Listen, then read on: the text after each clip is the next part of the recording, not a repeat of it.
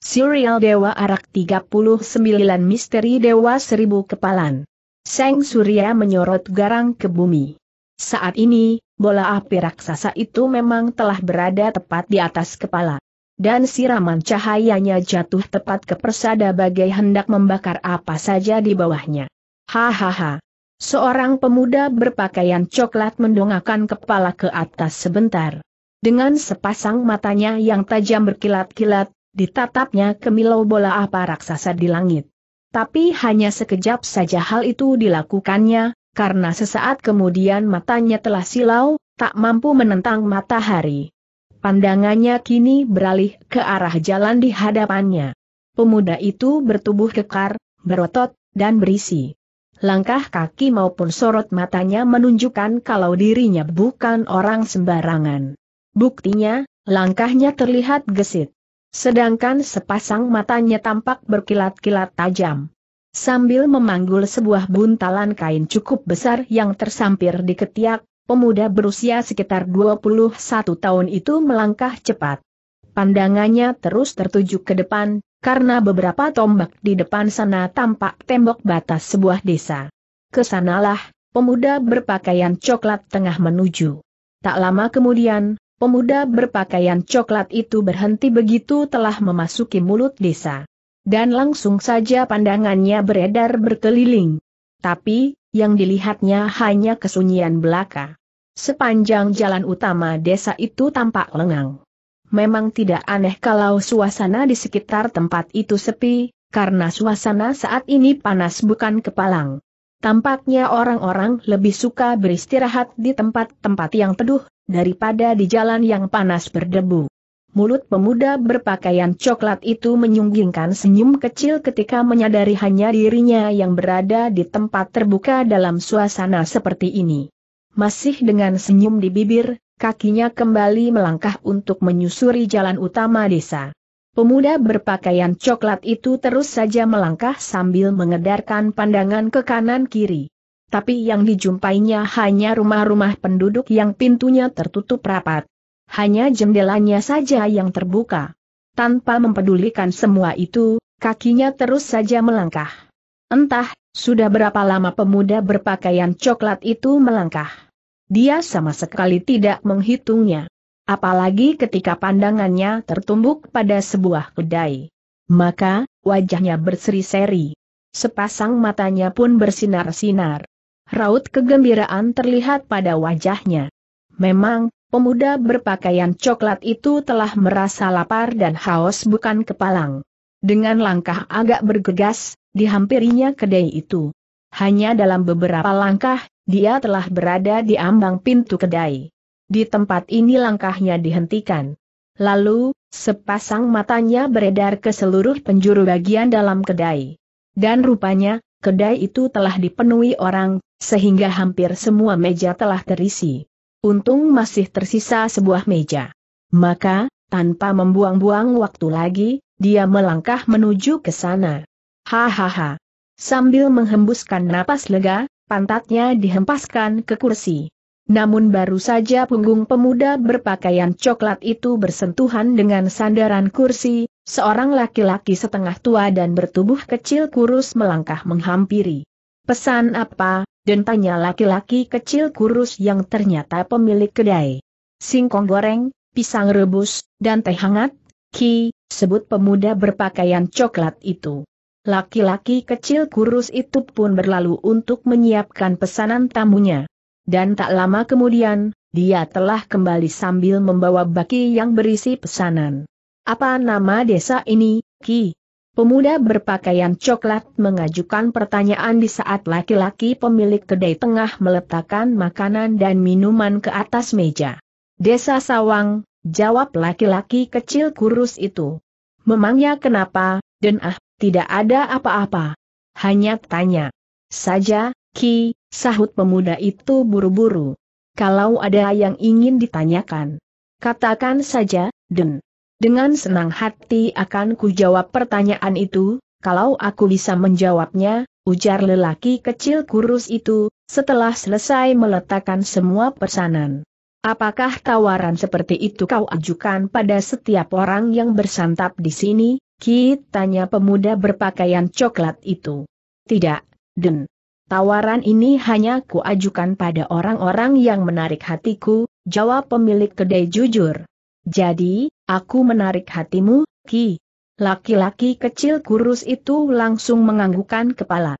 Wajahmu mengingatkanku pada orang yang keluarganya telah banyak berjasa pada desa ini, lirih jawaban yang keluar dari mulut pemilik kedai. Sementara, pemuda berpakaian coklat itu mulai mengupas ujung kulit pisangnya. Memang, paman guruku sendiri mengatakan kalau aku mempunyai wajah yang mirip ibuku. Sayang, aku lupa nama ibuku. Aku masih terlalu kecil untuk bisa mengetahui nama ibu.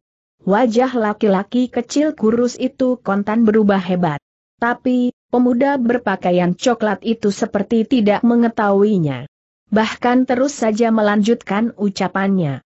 Malah, nama ayahku sendiri aku tidak tahu.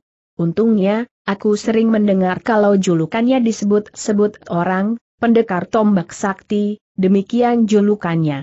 Dan, tanda petik. Kau tanda seru. Kau tanda seru sepasang mata laki-laki kecil kurus itu terbelalak lebar, seakan tengah melihat hantu. Ya Tuhan! Kau pasti, Palasena. Pemuda berpakaian coklat yang ternyata bernama Palasena itu menganggukkan kepala. Pisang rebus yang telah terkupas kulitnya dimasukkan ke dalam mulut, digigit, dan dikunyahnya. Pelan dan lembut sekali Palasena mengunyahnya. Duduklah, Ki. Kita rayakan pertemuan ini, ujar Palasena masih sambil mengunyah potongan pisang di mulutnya. Bagai kerbau dicocok hidungnya, laki-laki kecil kurus itu meletakkan pantatnya di kursi di hadapan Palasena. Sebuah meja berbentuk persegi menjadi pembatas antara mereka berdua. Makanlah, Ki, ujar Palasena mempersilakan. Terima kasih, Sena hanya itu yang bisa diucapkan laki-laki kecil kurus itu. Oh, ya. Coba ceritakan, hingga kau sampai di sini dan sudah demikian besar seperti ini. Palasena kemudian menerawang jauh, ke masa silamnya.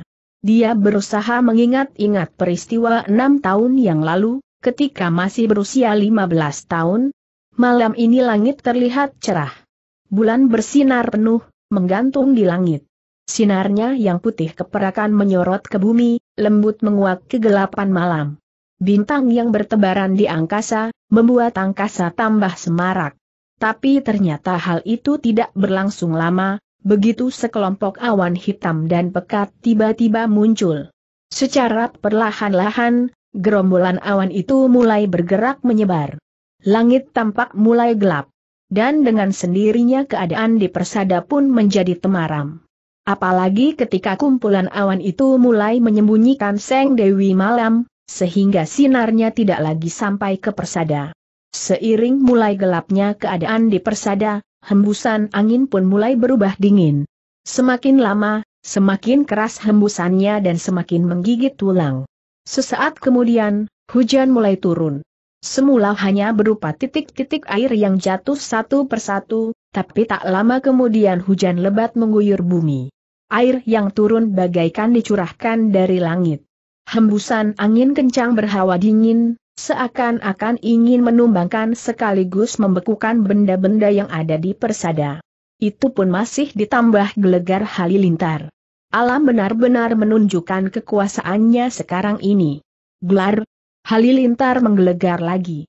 Kontan suasana di persada yang semula gelap gulita sekejap jadi terang benderang. Meskipun hanya sekejap, tapi cukup memperlihatkan sesosok tubuh sedang berpakaian coklat yang tengah berlari keluar dari pintu sebuah bangunan yang cukup megah. Sosok tubuh sedang itu ternyata anak lelaki berusia sekitar 15 tahun, tubuhnya kurus seperti orang kurang makan. Wajahnya berbentuk bulat telur. Dan ada setitik tahi lalat di bibir bawahnya. Anak lelaki berpakaian coklat itu berlari cepat, melintasi halaman ketika telah berada di luar pintu. Tak dihiraukannya lagi curahan hujan lebat dan hembusan angin kencang yang menerpa tubuhnya. Prat, prat. Air berwarna kecoklatan munkrat ke sana kemari ketika anak lelaki berpakaian coklat itu berlari di halaman. Dan memang, hujan telah membuat sebagian halaman depan bangunan itu tergenang air. Baru saja beberapa tombak bocah berpakaian coklat itu menempuh halaman, sesosok tubuh lain muncul di ambang pintu. Yang baru saja ditinggalkan. Keng Palasena. Jangan pergi. Jangan tinggalkan aku teriak sosok tubuh yang berdiri di ambang pintu, keras. Rupanya, seluruh kemampuan berteriaknya dikerahkan. Terbukti, panggilannya mampu menembus riuhnya suara hujan dan angin. Anak berpakaian coklat dalam siraman hujan yang ternyata bernama Palasena itu menghentikan larinya. Kemudian tubuhnya berbalik menatap ke arah sosok tubuh yang memanggilnya. Keberadaan sosok tubuh di ambang pintu memang bisa terlihat karena di sudut-sudut rumah itu tergantung obor-obor. Halilintar kembali menggelegar bagai hendak merobohkan bumi. Suasana di persada kembali terang benderang sekejap. Dan kini, sosok yang berdiri di ambang pintu bisa melihat Palasena. Sosok tubuh di ambang pintu itu ternyata seorang gadis sedang berusia tiga betas tahun, mengenakan pakaian serba hitam. Tampak oleh gadis itu, Palasena tengah berdiri mematung menatap ke arahnya. Anak lelaki berpakaian coklat itu sama sekali tidak mempedulikan curahan hujan dan debu angin keras yang berhawa dingin menusuk tulangnya. Keng Palasena. Kembali teriak gadis berpakaian hitam itu lagi, seraya melambaikan tangannya.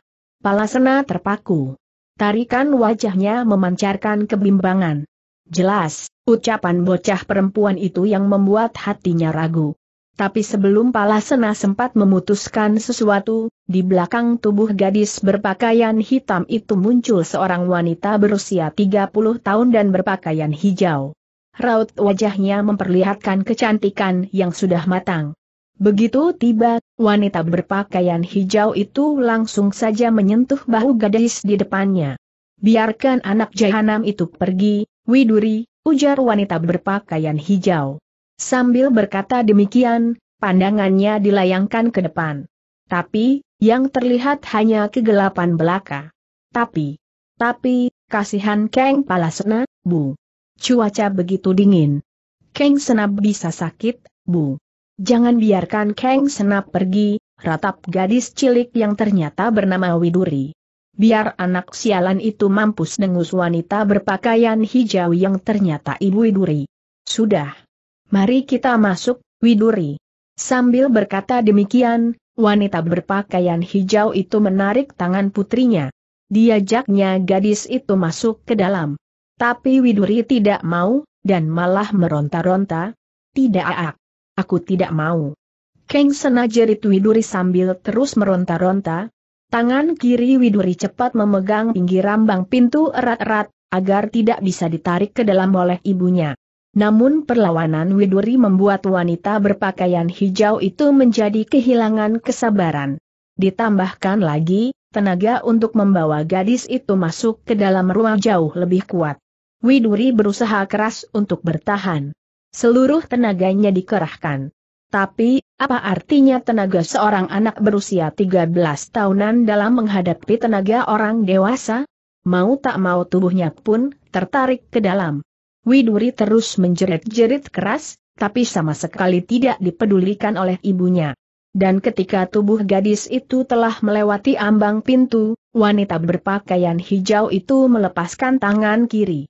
Kemudian, tangan kirinya itu diulurkan untuk menjangkau daun pintu. Dan, blam, daun pintu itu tertutup kembali disertai suara yang demikian keras. Dan tanpa membuang-buang waktu lagi, Wanita berpakaian hijau itu memasang palang pintu, leluasalah dia membawa Widuri ke dalam. Aku tidak mau. Keng Sena. Teriak Widuri, sehingga sampai terdengar keluar. Sementara itu Palasena mengusap wajahnya. Di samping untuk mengusap air hujan yang telah membasahi selebar wajahnya, juga untuk mencegah mengalirnya keluar air mata. Nyatanya, sepasang mata anak laki-laki itu memang telah berkaca-kaca sejak tadi, karena Palasena menyaksikan adegan yang terjadi di sekitar empat tombak di hadapannya. Adegan yang terjadi antara Widuri dengan ibunya. Tapi, ternyata Palasena bukan orang yang berjiwa cengeng. dia tidak ingin terlalu berlarut-larut tenggelam dalam kesedihan. Kepalanya segera digeleng-gelengkan untuk mengusir gambaran-gambaran tadi. Lalu, dipandanginya bangunan yang baru ditinggalkannya beberapa saat. Dan setelah menggertakkan gigi untuk menguatkan hati, tubuh Palasena berbalik, kemudian berlari cepat meninggalkan tempat itu. Hujan masih terus turun deras. Hembusan angin berhawa dingin yang sesekali bertiup keras, masih juga berlangsung. Gelegar halilintar pun tidak juga terhenti. Namun, Palasena terus saja berlari. Bahkan tidak ingin berhenti untuk berteduh. Dia tahu, apabila hal itu dilakukan, perjalanannya tak akan bisa diteruskan. Hawa dingin akan semakin menyiksanya. Sesaat kemudian, tubuh Palasena pun lenyap di telan kegelapan malam yang menyelimuti sekitarnya. Seng surya muncul di ufuk timur, sinarnya yang lembut menguak kegelapan, yang semalaman mengungkung persada. Semilir angin yang bertiup terasa nikmat di kulit. Perasaan yang sama dirasakan pula oleh seorang anak lelaki berpakaian coklat. Dia tak lain dari Palasena. Sejuknya hembusan angin pagi cukup menghibur hatinya. Walaupun memang, tidak bisa mengobati rasa lapar yang menggerogoti perutnya. Sudah lima hari lamanya Palasena meninggalkan bangunan tempatnya selama ini bernaung. Perjalanan ditempuhnya tanpa mempunyai arah dan tujuan, dan hanya mengikuti langkah kakinya saja. Dan kini, dia telah tiba di sebuah padang pasir luas. Sejauh mata memandang, yang terlihat hanyalah hamparan pasir. Palasena memegang perutnya ketika terdengar suara berkeruyuk yang cukup nyaring. Perutnya memang sudah menagih minta diisi. Tapi, dengan apa harus diisi? Sejak tadi belum ditemukan sesuatu yang dapat digunakan untuk mengganjal perutnya. Sudah lima hari Palasena kelaparan. Kalau toh makan, itu hanya sekadarnya saja. Bahkan hanya memakan pucuk-pucuk daun muda serta buah yang ditemukan di jalan. Hahaha. Palasena menghela napas berat. Diusapnya peluh yang membasahi wajah dengan punggung tangan. Ditatapnya sejenak bola raksasa di langit. Sebagai anak laki-laki yang baru berusia 15 tahun dan belum berpengalaman menempuh hidup secara liar seperti ini, maka dia tidak tahu kalau nyawanya laksana telur di ujung tanduk. Tempat Palasena berada adalah sebuah padang pasir yang luas. Sejauh mata memandang, yang tampak hanyalah hamparan pasir belaka. Bahkan untuk menemukan jejak-jejak bekas orang lewat di hamparan padang pasir ini, rasanya sulit sekali. Sementara suasana di tempat itu panas. Jelas hal ini akan membuat orang mati secara menyedihkan. Kehasan. Palasena terus melangkah. Harapannya, hamparan pasir bisa cepat ditinggalkannya. Lalu, dia akan bertemu sebuah hutan yang penuh buah-buahan segar dan nikmat. Tapi harapan hanya tinggal harapan. Nyatanya, kedua kakinya hampir tidak kuat lagi melangkah. Malah, tanda-tanda kalau hamparan padang pasir ini akan berakhir, sama sekali belum tampak. Sementara, matahari telah naik semakin tinggi. Dan dengan sendirinya, sinar yang dipancarkan pun semakin terasa panas menyengat kulit. Palasena hampir tidak kuat lagi melangkah. Rasa lapar yang melanda perut, haus yang mencekik tenggorokan, tambahan lagi sinar sang mentari yang menyorot, membuat ayunan kakinya goyah. Bahkan, pandangannya pun mulai mengabur. Samar-samar, sepasang mata Palasena mulai melihat adanya hamparan air beberapa tombak di hadapannya. Kontan semangatnya bangkit. Air. Air seru Palasena kalap. Sambil berteriak-teriak demikian, Palasena berlari ke arah hamparan air yang nampak. Dan ketika sudah dekat, langsung saja tubuhnya diceburkan ke hamparan air, kemudian meropnya. Kontan Palasena kecewa ketika hamparan air itu mendadak lenyap. Tidak ada air sama sekali di situ. Bahkan titik-titik air saja tidak. Yang ada, tidak lebih hanya hamparan pasir saja. Tempat dia menceburkan diri, dan juga air yang diraupnya, sebenarnya hanya pasir belaka. Di samping perasaan kecewa, rasa heran juga menggayuti Hari Palasena. bocah berpakaian coklat ini sama sekali tidak tahu kalau peristiwa yang dialaminya itu merupakan sebuah hal yang biasa di padang pasir. Di tempat seperti itu, tipuan Metsi memang sering terjadi. Kontan tubuh Palasena lemas. Rasa lapar, pusing dan terutama sekali haus, membuat pandangannya berkunang-kunang. Sesaat kemudian, bocah berpakaian coklat ini terguling pingsan. Entah berapa lama pingsan, Palasena sama sekali tidak tahu. Yang jelas, tahu-tahu seluruh tubuhnya terasa sejuk, seperti orang yang tengah kepanasan berendam di sungai yang berair jernih dan segar. Perasaan nikmat yang timbul sukar diutarakan dengan kata-kata. Perlahan-lahan Palasena membuka mata. Tampak matahari sudah agak tergelincir dari titik tengahnya. Padahal, tadi bola raksasa itu belum berada di atas kepala. Rupanya dia telah tergolek pingsan cukup lama. Tapi anehnya, tubuhnya kini terasa sejuk. Padahal, sepatutnya kepanasan. Hamparan pasir tempat tubuhnya tergolek, sebenarnya masih menyisakan panas menyengat kulit. Tapi mengapa tubuhnya malah terasa sejuk? Yang jelas, ada suatu kekuatan tak nampak, yang membuat Palasena merasa sejuk. Entah dari mana datangnya. Karena tidak juga menemukan jawabannya, Palasena memutuskan untuk melupakan masalah itu. Kemudian ia bangkit berdiri, dan mengedarkan pandangan berkeliling. Hampir saja bocah remaja ini terjingkat kaget ketika melihat segundukan benda di kejauhan. Jaraknya, tak akan kurang dari lima tombak di sebelah kanan. Perasaan ingin tahu mendorong Palasena untuk menghampiri dua buah benda yang tergolek di situ. Memang, seiring munculnya perasaan sejuk, kelelahan yang diderita berkurang jauh. Walaupun rasa lapar dan haus tetap merajalela, tapi tidak segila sebelumnya. Selangkah demi selangkah, jarak antara Palasena dengan dua benda itu semakin mendekat. Dengan sendirinya, benda-benda itu semakin terlihat jelas. Dan, ternyata sebuah buntalan kain dan sebuah guci air. Sejenak Palasena bimbang. Ditatapnya buntalan kain dan sebuah guci air. Betapapun besar keinginan untuk membuka buntalan dan guci air untuk menikmati isinya, namun anak lelaki berpakaian coklat ini berusaha keras untuk bertahan. Dia tak ingin bertindak lancang, sebelum mengetahui secara pasti kalau barang-barang itu tidak ada pemiliknya. Tapi setelah menunggu beberapa saat lamanya tidak juga ada tanda-tanda kemunculan pemilik barang, Palasena memutuskan untuk mengambil. Barangkali saja di dalamnya ada sesuatu yang bisa dimakan atau diminum. Setidak-tidaknya, untuk mengurangi rasa haus dan lapar yang menyiksanya. Namun, begitu tangan Palasena terjulur untuk meraih buntalan itu, terdengar suara rintihan halus. Seketika Palasena menghentikan gerakannya. Matanya langsung ditajamkan, mencari-cari asal suara dan sekitar lima tombak di hadapannya, tampak tergolek sosok tua berpakaian seperti pengemis.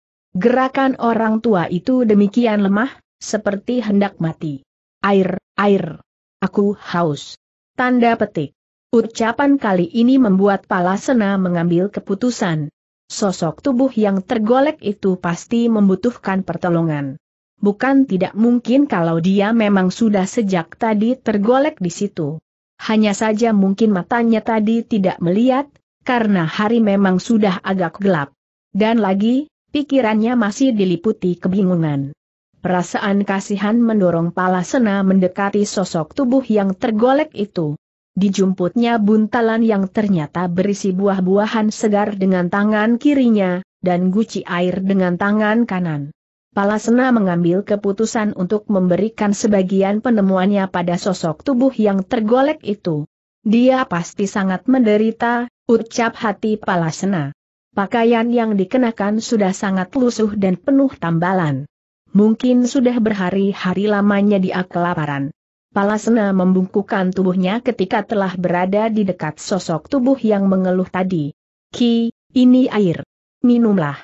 Usai berkata demikian, Palasena segera mengangsurkan guci berisi air yang belum sempat dinikmatinya. Sosok yang tergolek itu ternyata memang seorang kakek yang bertubuh kurus kering. kulitnya yang tak tertutup pakaian tampak coklat. Tapi anehnya, kulit wajahnya berwarna merah. Pengemis berwajah kemerahan itu membuka matanya, yang sejak tadi tertutup. Dan secepat metu itu melihat Guci, secepat itu pula tangannya diulurkan untuk menyambuti. Tampak kedua tangan pengemis itu menggigil ketika terulur. Tangannya juga gemetar ketika pengemis tua itu menuangkan guci itu ke mulutnya. Sehingga Palasena yang khawatir kalau-kalau guci itu akan jatuh dan airnya tumpah, segera membantu memeganginya.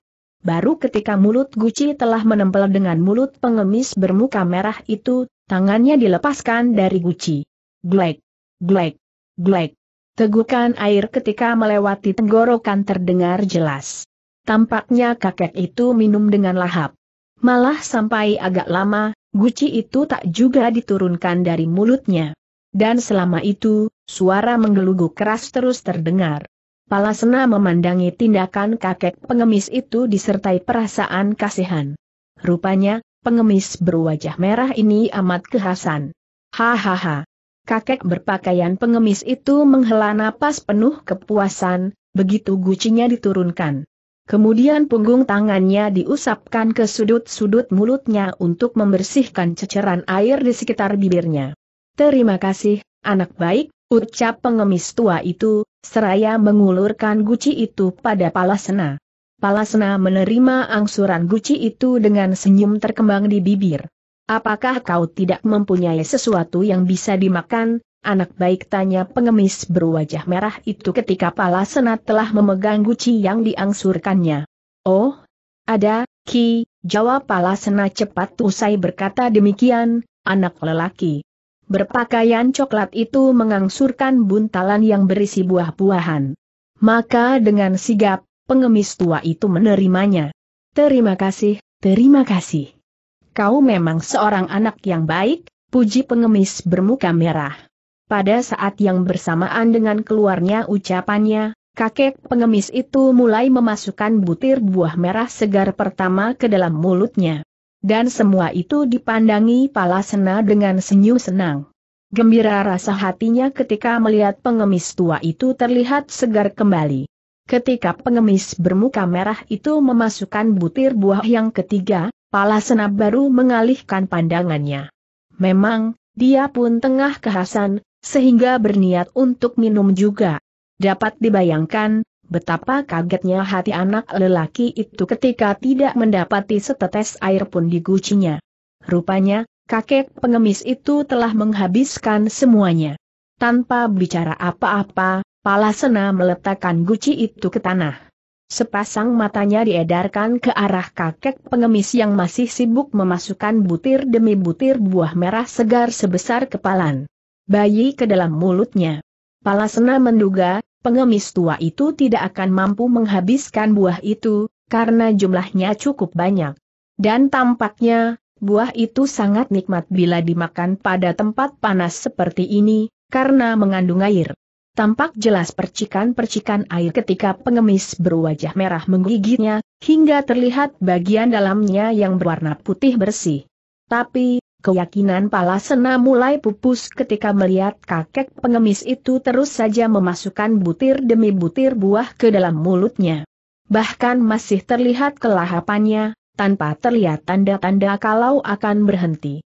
Akhirnya, hal yang dikhawatirkan Palasena pun terjadi.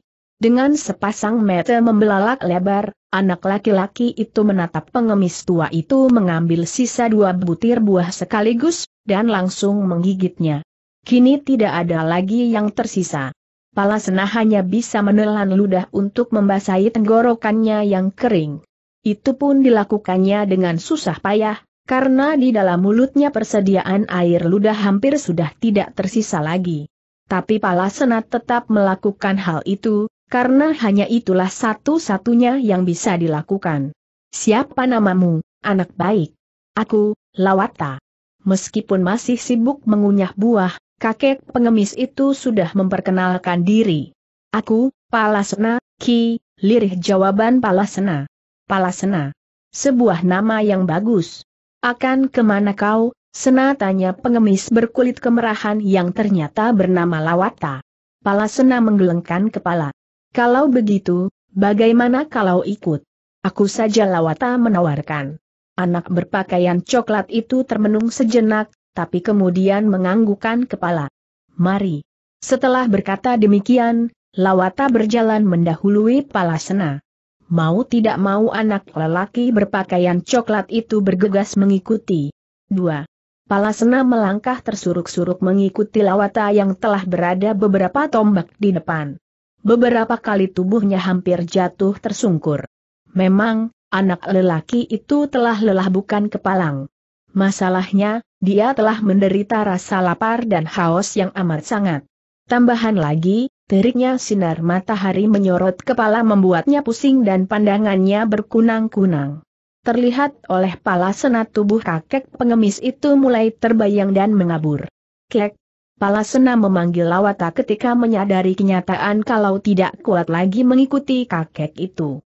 Seluruh tenaga yang tersisa dalam panggilannya dikerahkan. Tapi, yang keluar hanyalah bisikan lirih. Dan seiring selesainya ucapan itu, pandangan pala senap pun gelap. Kemudian, dia roboh tersungkur di hamparan pasir. Bruk. Lawata langsung berbalik, dan menatap pala sena dengan bibir menyunggingkan senyum. Beberapa saat, diperhatikannya tubuh yang tergolek sebelum akhirnya menghampiri. Seorang anak yang luar biasa, Puji kakek berpakaian penuh tambalan itu sambil menggeleng-gelengkan kepala setelah berada di dekat Palasena. Dia bukan hanya mempunyai watak yang baik, tapi juga mempunyai kemauan keras. Hahaha. Inilah anak yang kucari-cari selama ini. Hektometer, tidak sia-sia aku mengujinya tadi. Usai berkata demikian, Lawata mencungkil tubuh Palasena dengan ujung kaki kanannya. Luar biasa kelihatannya pelan, dan tanpa tenaga gerakan yang dilakukan Lawata. Tapi akibatnya, tubuh anak lelaki berpakaian coklat itu terpental ke atas. Hup! Tubuh pala senap bagaikan segumpal kapas di tangan Lawata, buktinya tubuh yang semula terlontar ke atas dan kemudian melayang turun, hendak ditangkapnya dengan tangan kiri. Tap! Tidak terlihat adanya tanda-tanda kalau Lawata mengerahkan tenaga sewaktu menangkap tubuh Palasena.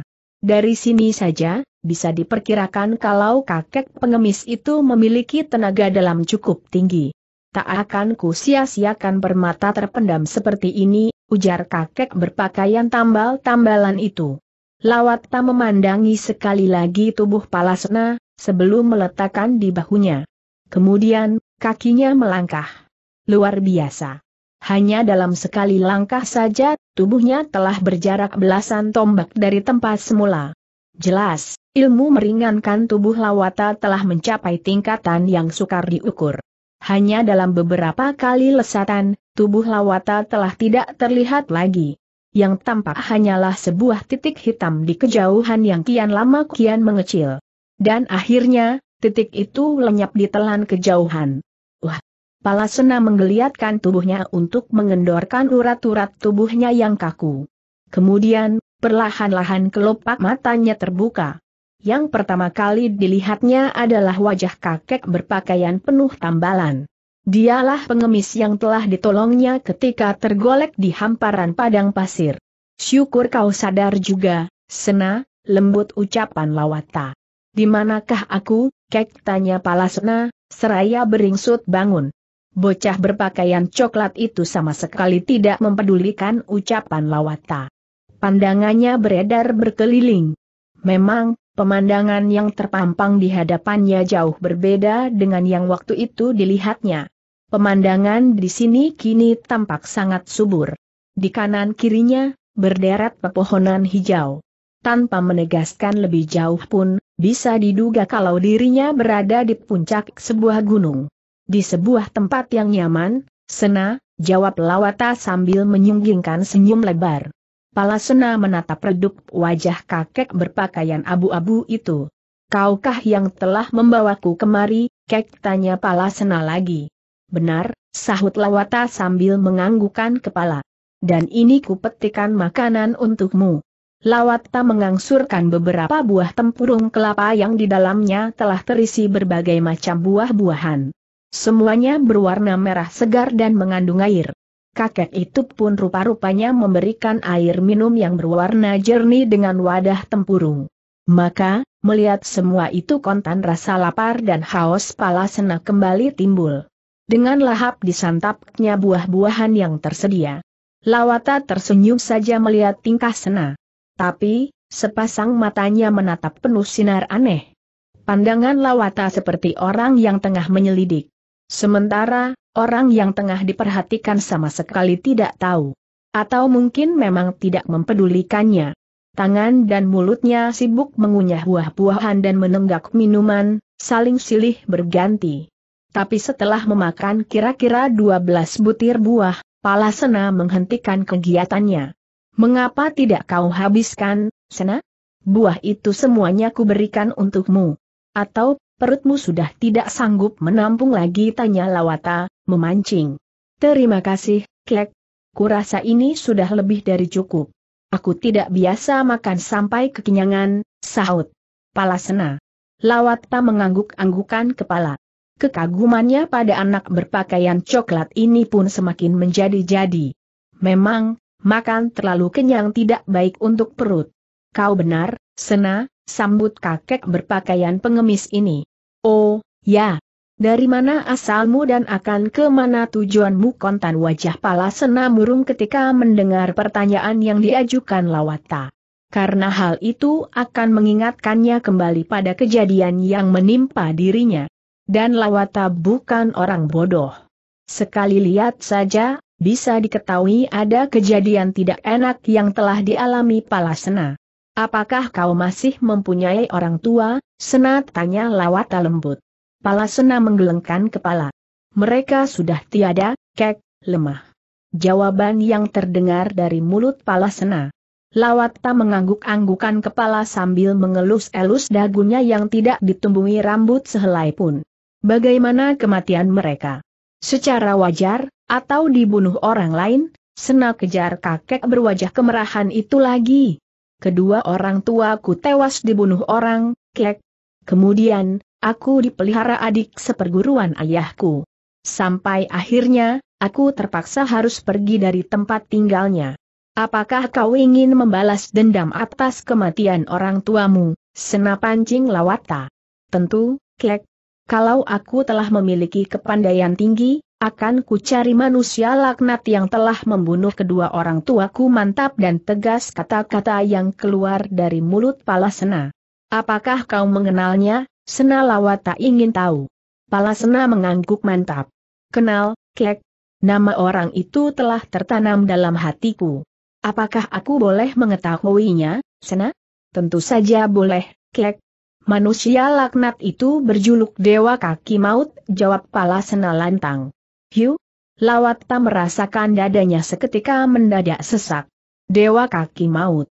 Jadi, orang yang telah membunuh kedua orang tua Palasena adalah Dewa kaki maut. Ah! Betapa banyaknya tokoh itu menyebar maut ada apa, kek tanya Palasena. Cemas ketika melihat wajah Lawata memucat Lawata pun sadar dari keterkejutannya. Buru-buru perasaannya. Ditenangkan.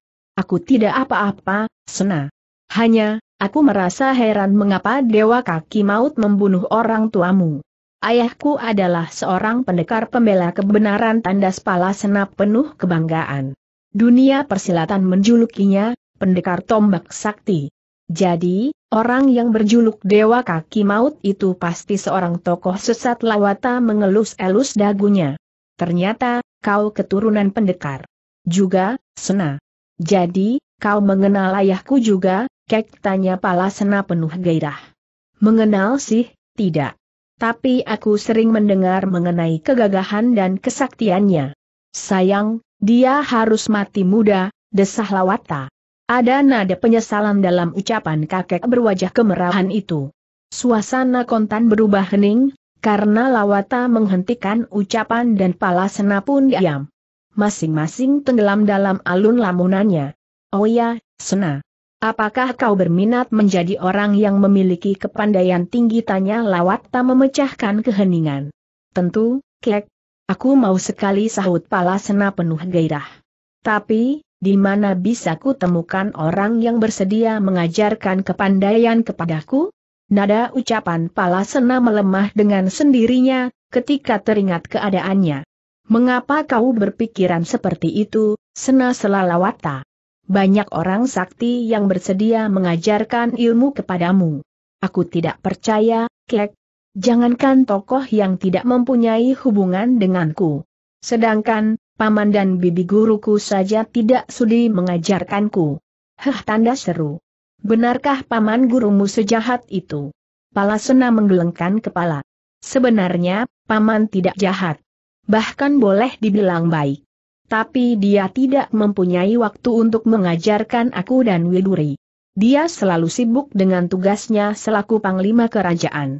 Maka tugas untuk mengajarkan hal itu, diberikan pada Bibi. Anak berpakaian coklat ini menghentikan ucapannya sejenak. Sementara, terdengar helaan napas berat Lawata. Tapi Bibi sama sekali tidak pernah mengajarkan aku, dan hanya mengajarkan anaknya yang bernama Widuri saja. Dia memang tidak suka padaku tanpa diketahui sebabnya. Dia seperti membenciku. Malah, aku jarang diberi makan. Tapi, kalau menyiksaku sering sekali. Sudahlah, Lawata. Lupakan saja kejadian yang telah berlalu. Sekarang, tenangkanlah hatimu. Percayalah. Kau akan memiliki kepandaian tinggi, Sena.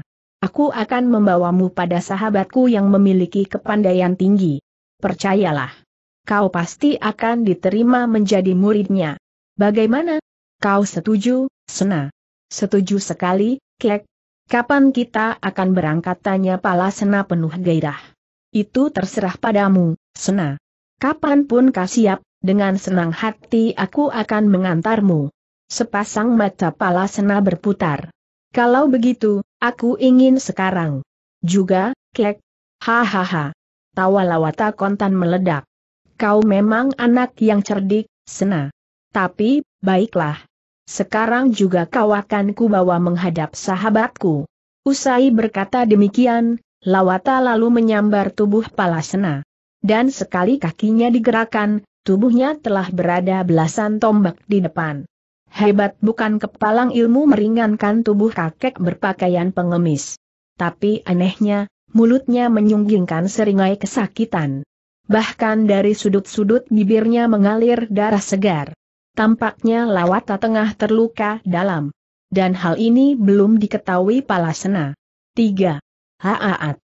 Teriakan keras menggelegar memecahkan kesunyian pagi. Dan sebelum gemat teriakan itu lenyap, melesat sesosok tubuh ke arah sebatang pohon dengan ukuran batang sepelukan orang dewasa. Sosok tubuh yang tampak bertelanjang dada itu melakukan tendangan menggunting. Tap. Hih. Krak. Bruk. Kejadiannya berlangsung cepat sekali. Batang pohon itu berhasil dijepit di antara kedua kaki sosok bayangan tadi, dengan gerakan menggunting. Hebat!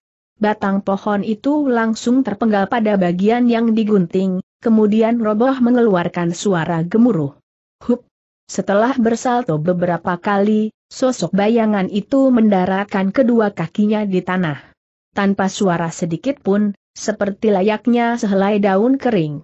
Dan hinggapnya kedua kaki itu hampir berbarengan dengan robohnya batang pohon yang terpenggal. Bagus sekali, Sena. Terdengar seruan memuji. Itu pun masih disertai tepukan tangan yang berkepanjangan dari arah belakangnya. Sebenarnya, tanpa menoleh pun sosok tubuh yang telah merobohkan pohon dan dipanggil Palasena, telah mengetahui orang yang telah mengeluarkan pujian tadi. Suara itu amat dikenalnya, karena memang suara gurunya. Tapi, Palasena tetap membalikan tubuh. Di hadapan Palasena kini berdiri seorang kakek bertubuh kecil kurus. Wajahnya pun pucat, seperti orang penyakitan. Garuda Cakar Lima, demikian julukannya. Dia seorang tokoh aliran putih yang memiliki kepandaian tinggi. Tak terhitung tokoh sesat yang telah ditewaskannya. Julukannya telah menjadi momok yang menakutkan di kalangan rimba persilatan belasan tahun yang lalu. Tapi sejak tujuh tahun yang lalu, dia telah mengundurkan diri dan tinggal di Gunung Kumang. Sejak saat itu, julukannya pun tidak terdengar lagi. Kau benar-benar tidak mengecewakanku dan sahabatku, Sena, tambah cakar lima lagi. Tampak jelas kalau Garuda cakar lima gembira bukan kepalang. Hal ini terlihat dari wajahnya yang tampak berseri-seri. Sepasang matanya pun berbinar-binar, bagai kerlipan bintang. Ah! Semua itu adalah atas jerih payahmu, guru, sahut Sena merendah sambil menghampiri Garuda cakar lima. Kau memang pandai menyenangkan hati, Sena celetuk sebuah suara merdu. Bukankah demikian, Kek? Dan sebelum gemas suara itu lenyap, berkelebat cepat sesosok bayangan hijau. Dan tahu-tahu, di sebelah Garuda Cakar Lima telah berdiri seorang gadis cantik manis berusia sekitar 16 tahun. Rambutnya berwarna hitam mengkilap, tampak dikepang indah. Hahaha. Benar. Benar. Ucapanmu sama sekali tidak keliru, Kuntari, sambut Garuda Cakar Lima cepat, seraya menoleh ke arah gadis cantik manis yang tidak lain adalah cucunya sendiri. Palasena memang pintar menyenangkan hati orang. Sambil berkata demikian, Garuda Cakar Lima menatap wajah Palasena penuh rasa bangga. Keadaan Palasena yang sekarang, memang jauh berbeda dengan waktu dulu. Memang, tanpa terasa kini tubuhnya telah berubah tinggi tegap dan kekar. Putra pendekar tombak sakti ini telah berusia 18 tahun, genap tiga tahun dia menuntut ilmu dari Garuda Cakar lima. Pakaian coklat yang membungkus tubuhnya pun sudah tidak lusuh lagi. Terima kasih atas pujianmu, Kuntari. Kau memang seorang gadis cantik yang baik, Palasena balas memuji. Kontan wajah Kuntari memerah. Sudah. Sudah. Lupakan dulu. Perselisihan ini. Apakah kalian berdua tidak tahu, kalau sekarang sudah tiba saatnya untuk berpisah lerai Garuda Cakar 5. Berpisah. Hampir berbareng ucapan itu keluar dari mulut Kuntari dan Palasena. Apa maksud ucapanmu, kek tanya Kuntari, penuh rasa penasaran. Hahaha. Garuda Cakar 5 menghela napas berat. Rupanya, kakek kecil kurus ini merasa berat juga untuk berpisah dengan Palasena. Sementara, dua muda-mudi di dekatnya hanya menunggu keluarnya ucapan lanjutan Garuda Cakar Lima, dengan perasaan tidak sabar. Kejadiannya berlangsung cepat sekali. Batang pohon itu berhasil dijepit di antara kedua kaki Palasena dengan gerakan menggunting. Hebat! Krak! Beruk! batang pohon itu langsung terpenggal pada bagian yang digunting dengan kaki tersebut. Kau ingat Lawata, Sena tanya Garuda Cakar lima. Palasena yang telah menjadi pemuda gagah hanya menganggukkan kepala. Tentu saja pemuda itu ingat pada kakek berpakaian pengemis yang ditemukannya secara tidak sengaja di padang pasir. Dan ternyata, bukan hanya Palasena saja yang menganggukkan kepala. Dan tanpa sadar, Kuntari pun demikian pula. Memang, Kuntari mengenal sewaktu Lawata menyerahkan Palasena pada Garuda Cakar lima. Nah, perlu kalian ketahui, Sena, Kuntari. Lawata menitipkan Palasena di sini, dan memesan agar aku menurunkan ilmuku selama tiga tahun, dan setelah itu, dia akan datang untuk mengambil Lawata kembali. Dan, mengapa begitu, Kek Selak Kuntari tidak sabar. Karena Lawata ingin menurunkan seluruh ilmu yang dimiliki pada Palasena jawab Garuda Cakar lima cepat. Jadi, Kilawata memiliki kepandaian juga, guru tanya Palasena, heran. Garuda Cakar lima tersenyum getir. Bukan hanya punya, Sena. Lawata adalah seorang tokoh sakti. Kepandaiannya sukar diukur. Bahkan kepandaian yang kumiliki ini sama sekali tidak berarti apa-apa bila dibandingkan kepandaiannya, jelas kakek kecil kurus itu. Ah, tapi, kenapa dia tidak mau mengajarkanku sejak dulu, guru ada nada penasaran dalam pertanyaan Palasena. Karena dia tengah terluka, Sena. Dengan Licik, seorang musuh telah meracuninya dengan racun yang mematikan. Tapi, Ternyata Lawata terlalu tangguh untuk dibinasakan seperti itu. Orang yang memberi racun mengira, Lawata telah tewas. Sama sekali tidak diketahuinya kalau Lawata ternyata berhasil menyelamatkan diri dengan semadi. Hanya saja, perlu waktu bertahun-tahun untuk melenyapkan racun itu. Dan menurut perhitungan, tahun ini semua racunnya telah tuntas, jelas Garuda Cakar lima panjang lebar. Palasena dan Kuntari termenung ketika Garuda Cakar lima menghentikan ceritanya. Kini keduanya tenggelam dalam lamunan masing-masing. Perlu kau ketahui, Sena. Semadi, pernapasan, dan latihan ilmu meringankan tubuh yang kuajarkan padamu adalah berasal dari Lawata. Dia telah mengajarkannya padaku untuk kuajarkan padamu, apabila kau telah cukup mengalami kemajuan selama menjadi muridku. Aku sendiri tidak mempelajarinya. Bahkan kepada Kuntari pun tidak kuajarkan, sambung kakek kecil kurus itu lagi. Mendengar penjelasan ini, Kuntari dan Palasena kontan mengerti. Jelas sudah, mengapa Palasena lebih cepat mendapat kemajuan ketimbang Kuntari. Meskipun Palasena menjadi murid Garuda Cakar lima belakangan, namun tingkatan yang dimilikinya jauh lebih tinggi daripada cucu Garuda Cakar lima itu. Hal itu tidak aneh, karena baik dalam ilmu meringankan tubuh maupun tenaga Kuntari jauh di bawah Palasena. Semua yang dikatakan Garuda Cakar lima tidak salah, Sena. Suara keras mengguntur yang menggema di sekitar tempat itu terdengar. Jelas, suara itu dikeluarkan lewat pengerahan tenaga dalam tinggi. Hampir berbareng, Garuda Cakar lima, Palasena, dan Kuntari menolehkan kepala ke arah asal suara. Maka, tampaklah seorang kakek berpakaian penuh tambalan. Kulit wajahnya tampak berwarna kemerahan. Kek seru palasena. Lawata teriak Garuda Cakar. Lima pula. Bagai diperintah Garuda Cakar lima dan palasena bergegas menghampiri Lawata. Mau tidak mau, Kuntari pun ikut pula melangkah di belakang mereka pada saat yang bersamaan, Lawata pun menghampiri pula. Kau datang tepat pada waktunya, Lawata, kata Garuda Cakar lima sambil mengulurkan tangan. Syukurlah kalau demikian, Garuda Cakar 5, sahut Lawata. Pada saat yang bersamaan dengan keluar ucapannya, kakek pengemis itu menyambut uluran tangan Garuda Cakar 5 dan menggegamnya rat-rat. Bagaimana? Meskipun Lawata hanya mengeluarkan ucapan seperti itu, Garuda Cakar 5 sudah tahu maksudnya. Luar biasa. Kau benar-benar beruntung, Lawata. Dia mampu menguasai dengan baik semua yang kuajarkan. Palasena memang mempunyai bakat yang luar biasa sahut Garuda Cakar lima penuh kegembiraan. Hahaha sudah kuduga demikian, dan ternyata dugaanku tidak meleset. Hahaha. Masih dengan tawa yang tidak putus-putus, Lawata melepaskan genggaman tangannya. Sementara, Palasena hanya bisa tersenyum di kulu melihat pertemuan antara Garuda Cakar lima dengan Lawata. Hanya Kuntari yang terlihat agak murung. Jelas, gadis berambut di kepang ini tengah dilanda perasaan sedih. Dan kalau dia mau berterus terang, perpisahan dengan Palasena lah yang membuatnya sedih. Apabila Palasena pergi, maka dia tidak punya teman main lagi. Kesedihan yang melanda Hari Kuntari sama sekali tidak diketahui dua orang tokoh sakti yang tengah bergembira. Tapi, tidak demikian halnya Palasena.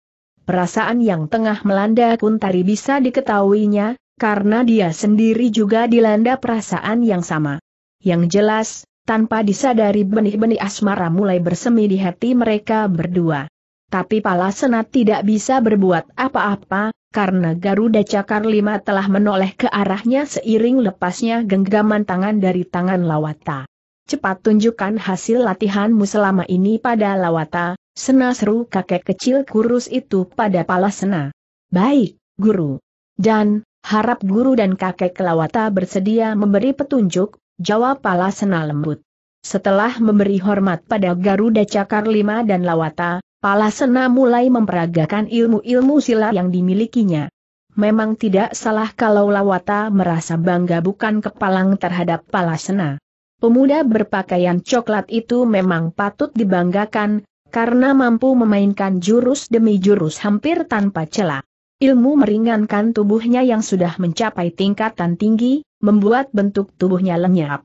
Yang terlihat hanyalah kelebatan bayangan coklat yang tidak jelas bentuknya, bergerak ke sana kemari. Yang lebih menggiriskan lagi, Setiap gerakan Palasena selalu menimbulkan deru angin keras. Hal ini menandakan tenaga dalam yang menyertai gerakannya cukup tinggi. Lawata mengangguk-anggukan kepala setelah menyaksikan beberapa saat lamanya. Seulas senyum tampak tersungging di bibirnya. Jelas, harinya merasa puas menyaksikan kemampuan Palasena. Garuda Cakar Lima tentu saja melihat anggukan kepala dan senyum pengemis berkulit kemerahan itu dan dia tahu artinya. Maka perasaan bangganya pun semakin membesar. Terima kasih, Garuda Cakar Lima. Memang, sudah kuduga kalau kau tidak akan mengecewakanku. Ucapan terima kasih dari Lawata membuat wajah Garuda Cakar Lima semakin berseri-seri. Kau tidak usah berterima kasih padaku, Lawata. Tapi bersyukurlah, karena telah menemukan seorang anak yang berbakat dan gigih. Yang kulakukan hanya sekedar mengajarnya saja. Hasil semuanya, terpulang pada Palasena, sahut Garuda Cakar Lima merendah. Ucapanmu itu tidak seluruhnya benar, Garuda Cakar Lima, celah pengemis berkulit kemerahan. Betapapun berbakat dan gigihnya seorang murid, tapi kalau sang guru tidak bisa memberi pelajaran dengan baik, maka hasilnya akan mengecewakan pula. Kau tahu itu, bukan? Garuda Cakar Lima menganggukkan kepala, karena memang ucapan Lawata benar belaka. Dan, itu berarti kau adalah seorang guru yang mampu memberi pelajaran dengan baik. Kau seorang guru yang pandai, Garuda Cakar Lima, sambung Lawata bernada menang. Kau memang pintar menyudutkan orang, Lawata, terpaksa Garuda Cakar Lima mengalah. Hahaha. Tapi, semua yang kukatakan itu benar, bukan? Coba bantah kalau memang aku salah, tantang Lawata gembira. Ak ah ah. Sudahlah, Lawata. Kalau dilanjutkan, entah kapan akan berakhir perdebatan ini. Dan, tanda petik. Kau benar selak Lawata cepat, sebelum Garuda Cakar Lima melanjutkan ucapannya. Usai berkata demikian, Lawata mengalihkan perhatian pada Palasena yang masih sibuk berlatih. Cukup, Sena perintah pengemis berkulit kemerahan itu pada Sena. Remaja berpakaian coklat itu sama sekali tidak berani membantah. Segera gerakannya dihentikan dan diberikannya penghormatan pada Garuda Cakar Lima dan Lawata. Aku puas melihat hasil latihanmu selama ini, Sena. Ternyata kau tidak mengecewakanku. Aku puas, puji Lawata, bernada sungguh-sungguh. Semua itu berkat didikan Garuda Cakar Lima, kek, Beliau melatihku secara sungguh-sungguh, sahut Palasena merendah. Hal itu memang tidak bisa kupungkiri, Sena. Nah, sekarang, sudah tiba saatnya kau menjadi muridku. Sebelum mati, aku ingin mewariskan seluruh ilmu yang kumiliki padamu. Kau sudah siap meninggalkan tempat ini. Siap, kek jawab Palasena tegas dan mantap. Bagus. Sekarang, berpamitanlah perintah Lawata. Tanpa menunggu diperintah dua kali, Palasena segera meninggalkan Lawata. Dihampirinya Garuda Cakar Lima dan Kuntari untuk yang terakhir kalinya. Sementara itu, Garuda Cakar Lima dan Kuntari memang sudah mengetahui kalau saat perpisahan akan datang juga. Maka mereka pun bergerak menghampiri Palasena pula. Seketika itu pula, suasana haru menyelimuti sekitarnya. Garuda Cakar Lima dan Kuntari memang menyukai Palasena, karena sikapnya yang menyenangkan. Demikian pula sebaliknya Palasena. Pemuda itu benar-benar mengagumi keramahan mereka. Aku pergi dulu, Guru, Kuntari, pamit Palasena setelah semuanya selesai. Jaga diri kalian baik-baik. Garuda Cakar Lima dan Kuntari menganggukkan kepala, meskipun sambil tersenyum getir. Jaga dirimu baik-baik, Sena. Hampir berbareng, kakek kecil kurus dan cucunya itu mengucapkan demikian. Pala Sena hanya bisa mengangguk. Perasaan haru yang menyesakkan dada dan menyumbat tenggorokannya, membuatnya mengalami kesulitan untuk mengucapkan kata-kata. Maka, hanya itulah yang bisa dilakukannya. Tak lama kemudian, Palasena dan Lawata melesat meninggalkan tempat itu. Tentu saja setelah Lawata berpamitan pada Garuda Cakar lima. Tubuh kedua orang berbeda usia yang telah berpisah selama tiga tahun itu melesat menuruni lereng gunung. Dengan ilmu meringankan tubuh yang dimiliki, bukan merupakan masalah sulit bagi mereka menuruni lereng gunung. Meskipun, banyak terdapat tonjolan baru. Apalagi lereng itu sendiri cukup terjal. Hanya dalam beberapa kali lesatan, tubuh Palasena dan Lawata telah lenyap dari pandangan Garuda Cakar Lima dan Kuntari. Tapi, tetap saja kedua orang itu berdiri mematung di situ. Waktu berlalu tanpa terasa. Terkadang melesat cepat laksana anak panah lepas dari busurnya, tapi tak jarang bergerak lambat seperti seekor siput merayap. Hari masih pagi. Seng surya baru saja muncul di langit dalam bentuk bola besar berwarna merah membara. Angin yang bertiup pun masih terasa segar di dada dan nikmat di kulit. Dan dalam suasana seperti ini, dua sosok tubuh tampak tengah berhadap-hadapan. Keduanya sama-sama duduk bersila, dengan telapak tangan bertumpu pada lutut. Hebatnya, dua sosok tubuh itu sama-sama duduk di atas tiang baru yang runcing, yang tingginya tidak kurang dari dua tombak. Anehnya, sedikit pun tidak terlihat kesulitan pada dua sosok tubuh duduk di sana. Jangankan jatuh. Bergoyang pun tidak. Jelas, kedua sosok tubuh itu bukan orang sembarangan. Dua sosok tubuh itu terdiri dari seorang kakek berpakaian pengemis dan seorang pemuda berpakaian coklat. Wajah kakek itu berkulit kemerahan. Sementara si pemuda berwajah tampan dan jantan. Tubuhnya tegap, kekar, dan berisi. Sena. Pengemis berkulit kemerahan itu membuka ucapan seraya menatap wajah pemuda berpakaian coklat di hadapannya. Ya, kek, sahut pemuda berpakaian coklat yang ternyata palasna, sambil mengangkat wajah sejenak menatap wajah pengemis berkulit kemerahan yang tidak lain lawata. Kemudian, kepala pemuda itu menunduk kembali. Sudah tiga tahun kau tinggal bersamaku di sini, sambung lawata lagi. Dan selama itu pula, kau mempelajari ilmu-ilmu yang kuturunkan padamu. Dan sekarang, tidak ada lagi ilmu yang bisa kuajarkan padamu. Semua ilmuku telah kuariskan. Lawata menghentikan ucapannya sejenak untuk mengambil napas. Kini sudah saatnya bagimu untuk terjun ke dunia persilatan. Amalkanlah semua yang telah kau pelajari di sini, Sena. Kau harus menjadi seorang pendekar pembela kebenaran. Cegahlah kejahatan semampumu. Tapi, Kek, Aku tidak tega meninggalkan kakek sendirian di sini, di tempat yang terasing seperti ini. Dan, tanda petik. Kau keliru, Sena potong Lawata cepat sebelum Pala Senat terus melanjutkan ucapannya. Lawata memang sengaja melakukannya untuk mencegah Pala Sena meneruskan perkataan-perkataan yang berisi kecengengan. Dia tidak ingin pemuda berpakaian coklat itu tenggelam dalam kesedihan. Aku sama sekali tidak merasa kesepian, lanjut Lawata ketika melihat Pala Senat terdiam. Sebelum kau datang, aku sudah sendirian di sini. Kau tahu, Sena. Bagi orang yang berusia sepertiku, tidak ada yang lebih menarik hati kecuali mengasingkan diri. Tinggal di sebuah tempat yang sunyi dan terpencil serta jauh dari keramaian. Ini adalah tempat tinggalku, dan aku amat mencintainya. Palasana Kontan terdiam mendengar ucapan itu. Tapi itu hanya sesaat saja. Tapi, Kek, aku belum sempat membalas budi baikmu dengan menemanimu di sini, dan melayani segala keperluanmu. Jelas, hatiku tak akan tenang, bantah Palasena. Justru kalau kau tinggal di sini, malah membuatku tidak senang, Sena. Kau, tahu. Kalau benar-benar ingin membalas budiku, terjunlah ke dunia persilatan. Cegah kejahatan semampumu. Oh, ya.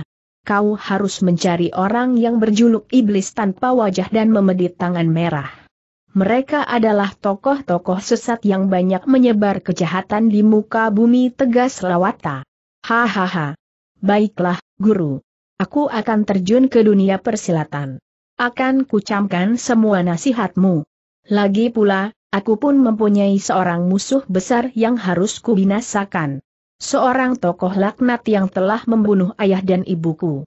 Dia adalah dewa seribu kepalan. Aku harus membalas dendam padanya agar arwah kedua orang tuaku tenteram di alam baka. Ada kebencian yang amat sangat di dalam ucapan Palasena. raut wajah dan sorot matanya pun menyiratkan dendam menggelora. Dari sini saja bisa diperkirakan sakit hati yang melanda pemuda berpakaian coklat itu. Hahaha Lawata menghembuskan napas berat. Mudah-mudahan kau menemukan orang yang telah membuat kedua orang tuamu terbunuh, Sena. Pasti, Kek. Biar bersembunyi di ujung langit pun, akan terus ku kejar. Hutang darah harus dibayar darah tandas pala senat tegas. Lawata diam, tidak berkata-kata lagi. Dan karena Pala Senat tidak melanjutkan ucapannya, maka suasana menjadi hening.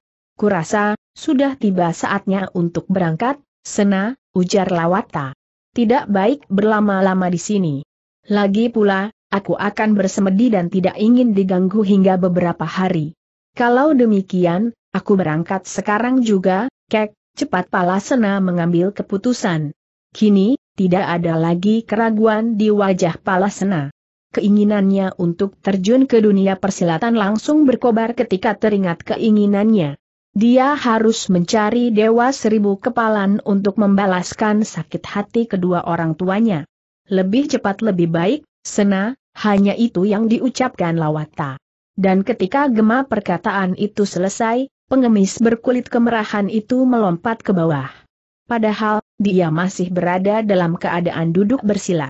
Dan kini, tubuhnya melayang ke bawah. Melihat hal ini, Palasena tidak mau kalah. Dia pun ikut melompat ke bawah tanpa merubah keadaan kaki. Sesaat kemudian, dengan keadaan duduk bersilat tubuhnya meluruk turun. Kini, terlihat pemandangan aneh dan mungkin jarang terlihat dalam dunia persilatan. Dua sosok tubuh yang memiliki perbedaan menyolok dalam usia, sama-sama melayang turun ke tanah dengan keadaan bersila tapi sekitar setengah tombak sebelum menyentuh tanah, baik Lawata maupun Palasena membuka lipatan kakinya. Maka, tap, luar biasa. Lawata dan Palasena mendarat di tanah dengan kedua kaki lebih dulu. Bahkan mereka langsung berdiri di atas tanah. Berangkatlah, Sena. Camkan baik-baik semua nasihatku. Dan yang perlu kau ingat, berhari-hatilah. Dunia persilatan tidak selamanya jujur. Apalagi, bila kau bertempur dengan tokoh-tokoh persilatan aliran hitam. Kau harus lebih hati-hati. Bagi mereka, yang penting dalam pertarungan adalah menang. Care apa pun akan dilakukan untuk mencapainya. Usai berkata demikian, pengemis berkulit kemerahan itu memberitahukan sebagian care yang dipergunakan tokoh-tokoh persilatan aliran hitam untuk memperoleh kemenangan. Palasena mendengarkan penuh perhatian. Disimaknya baik-baik semua ucapan Lawata. Dia yakin, perkataan pengemis berkulit kemerahan ini akan terbukti dalam pengembaraannya nanti.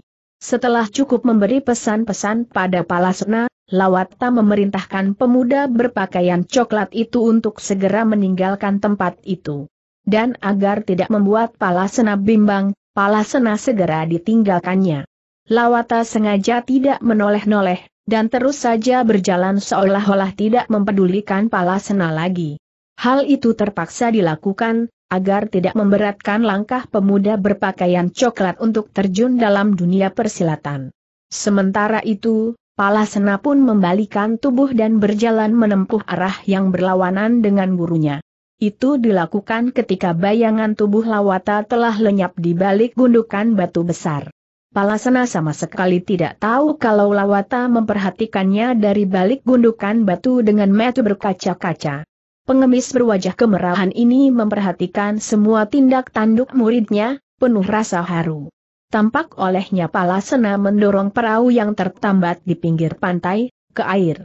Lalu, pemuda berpakaian coklat itu memasukkan bekal-bekalnya ke dalam perahu, dan segera mendayung hingga meninggalkan tempat tinggal Lawata. Memang, tempat tinggal Lawata berada di sebuah pulau terpencil di tengah laut. Sambil mendayung, sebentar-sebentar Palasena menoleh ke arah pulau yang ditinggalkannya. Ada titik-titik air bening di sudut matanya, ketika teringat budi baik Lawata. 4. Begitulah ceritanya, Ki. Hingga akhirnya, aku ada di sini, tutur Palasena, mengakhiri ceritanya. Walaupun cerita Palasena demikian panjang, tapi Ki Tiwung tetap setia mendengarkan. bahkan tanpa memotong sedikit pun.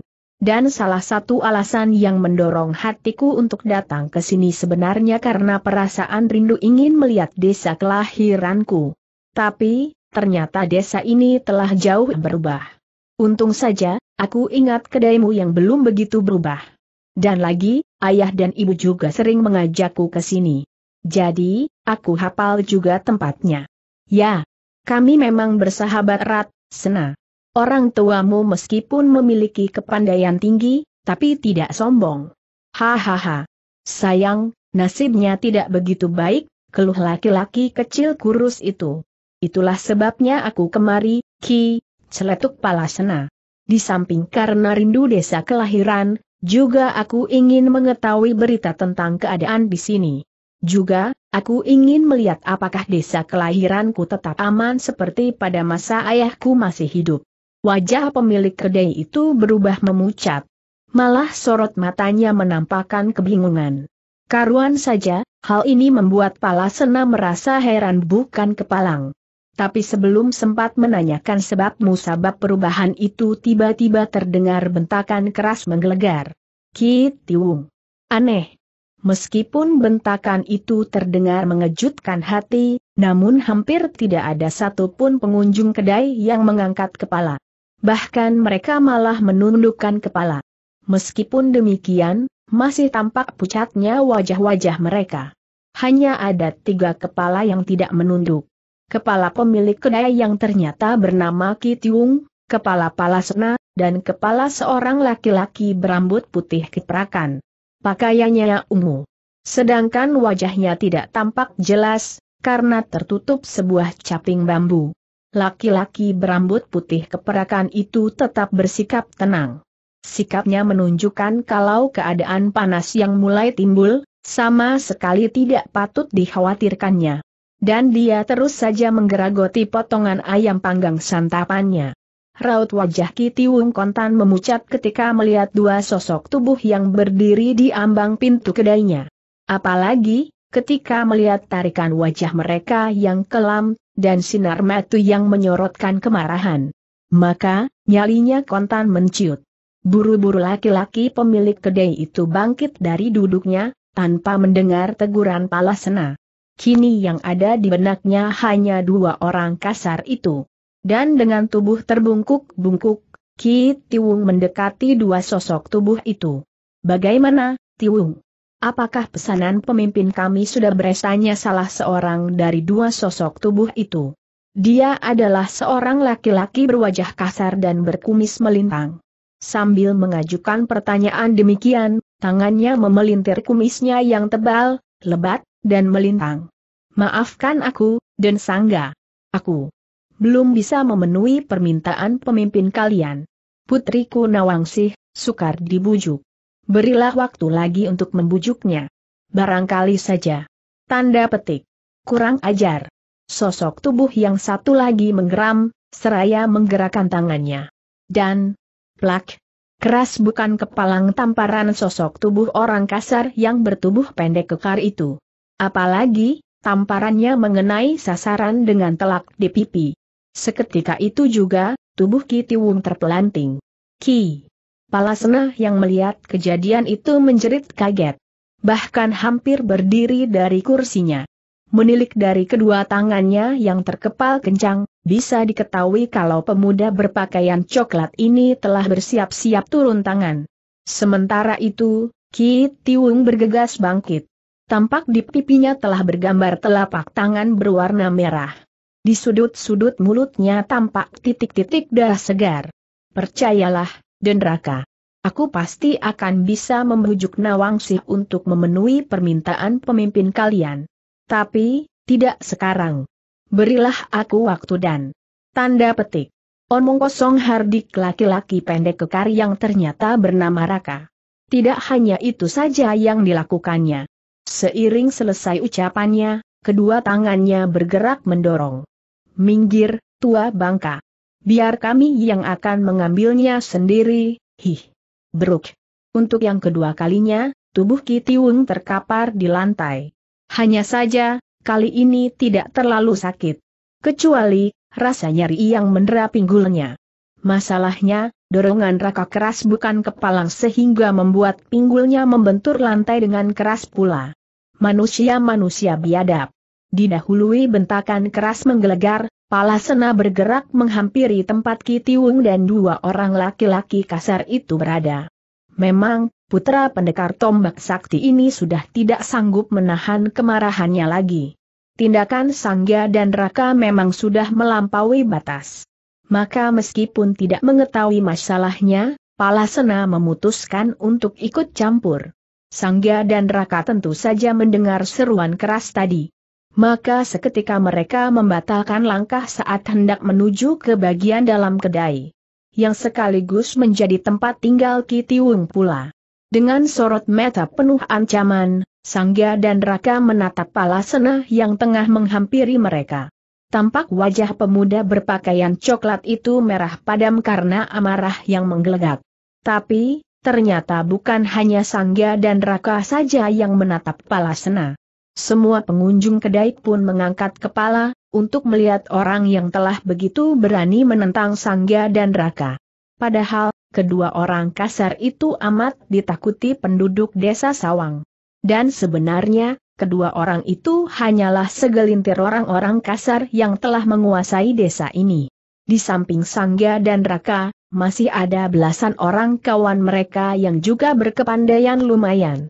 Itu pun masih ditambah Seng pemimpin. Maka, tak ada satu penduduk yang berani menentang mereka. Dulu, pernah ada orang-orang berkepandaian lumayan dari golongan putih yang datang untuk menumpas kelompok Sangga dan Raka ini tapi tidak pernah ada yang berhasil. Bahkan mereka semua tewas. Kalau tidak di tangan Sangga dan Raka, pasti di tangan Seng pemimpin. Maka melihat Palasena berani menentang Sangga dan Raka, para pengunjung kedai yang sebagian besar penduduk desa Sawang, menatap disertai perasaan khawatir. Mereka sudah menduga kalau Palasena akan menjadi korban seperti orang-orang sebelumnya. Hahaha Raka tertawa menghina. Ada kucing pincang berlagak jadi macan. Lucu. Lucu dan menggelikan. Kau akan membayar mahal atas tindakanmu yang sok pahlawan itu, anjing buduk sangga ikut angkat bicara. Sena. Pergilah dari sini. Cepat, sebelum terlambat. Tidak usah kau campuri urusan ini. Kau akan celaka seru Ki Tiwung penuh kekhawatiran. Apa yang dikatakan Tiwung benar belaka, kucing pincang. Sudah tidak terhitung pahlawan kesiangan yang telah membuang nyawa di desa ini. Dan semua itu terjadi karena berani mencampuri urusan kami. Dan, kau pun akan mengalami nasib serupa desis sangga yang mempunyai watak pemberang. Oh, rupanya kalian penjahat-penjahat hina yang menggunakan kekuatan untuk menindas si lemah. Kebetulan sekali. Rupanya tidak sia-sia perjalananku kemari untuk melanjutkan perjuangan ayahku. Orang-orang macam kalian memang patut dibasmi. Keparat. Mampuslah kau, anjing buduk. Hih. Sangga menerjang pala sena disertai kemarahan menggebu-gebu. Kedua tangannya yang dikepalkan, dan langsung dipukulkan bertubi-tubi ke arah dada pemuda berpakaian coklat itu. Wut, wut, wut, Deru angin yang cukup kuat mengiringi tibanya pukulan beruntun sangga. Jelas, serangan itu dikeluarkan dengan pengerahan tenaga dalam cukup kuat. Tapi Palasena bukan lawan empuk. Dia itu telah mendapat warisan seluruh ilmu lawata, seorang pengemis sakti. Maka menghadapi serangan seperti itu, sikapnya demikian tenang. Ditunggunya hingga pukulan lawan mendekat, kemudian tangannya diulurkan. Kelihatannya sembarangan saja Palasena menggerakkan tangan. Tapi, akibatnya cukup hebat. Dan tahu-tahu, kedua pergelangan tangan Sangga telah tercekal. Dan sekali pemuda berpakaian coklat itu memutarkan pergelangan tangannya, sambungan kedua pergelangan Sangga pun terlepas. AKH. Sangga memekik kesakitan karena perasaan nyeri yang melanda seketika. Dan sebelum dia sempat berbuat sesuatu, Palasena bergerak membetot. Tak pelak lagi, tubuh Sangga pun tertarik ke depan. Maka, saat itulah jari telunjuk kanan Palasena meluncur ke arah samping leher. Tuk! AKH! Tubuh Sangga kontan terkulai. Dan ketika Palasena melepaskan cekelannya, tubuh laki-laki kasar itu ambruk ke lantai. Sangga tewas seketika, dengan totokan Palasena yang mendarat di jalan darah kematiannya. Semua pasang metu yang berada di dalam kedai membelalak lebar melihat kematian Sangga yang demikian mudah. Sama sekali tidak disangka kalau Palasena akan seliai itu. Namun, orang yang paling terkejut adalah Raka. Hampir tidak dipercaya pemandangan yang disaksikannya. Sangga tewas hanya dalam segebrakan. Jadi, betapa dia tidak menjadi kaget? Dari heran, Raka menjadi murka. Walaupun telah dilihat sendiri bukti kelihayan Palasena, kegentaran Raka tidak susut pada pikirnya, Sangga tewas karena terlalu ceroboh. Serat.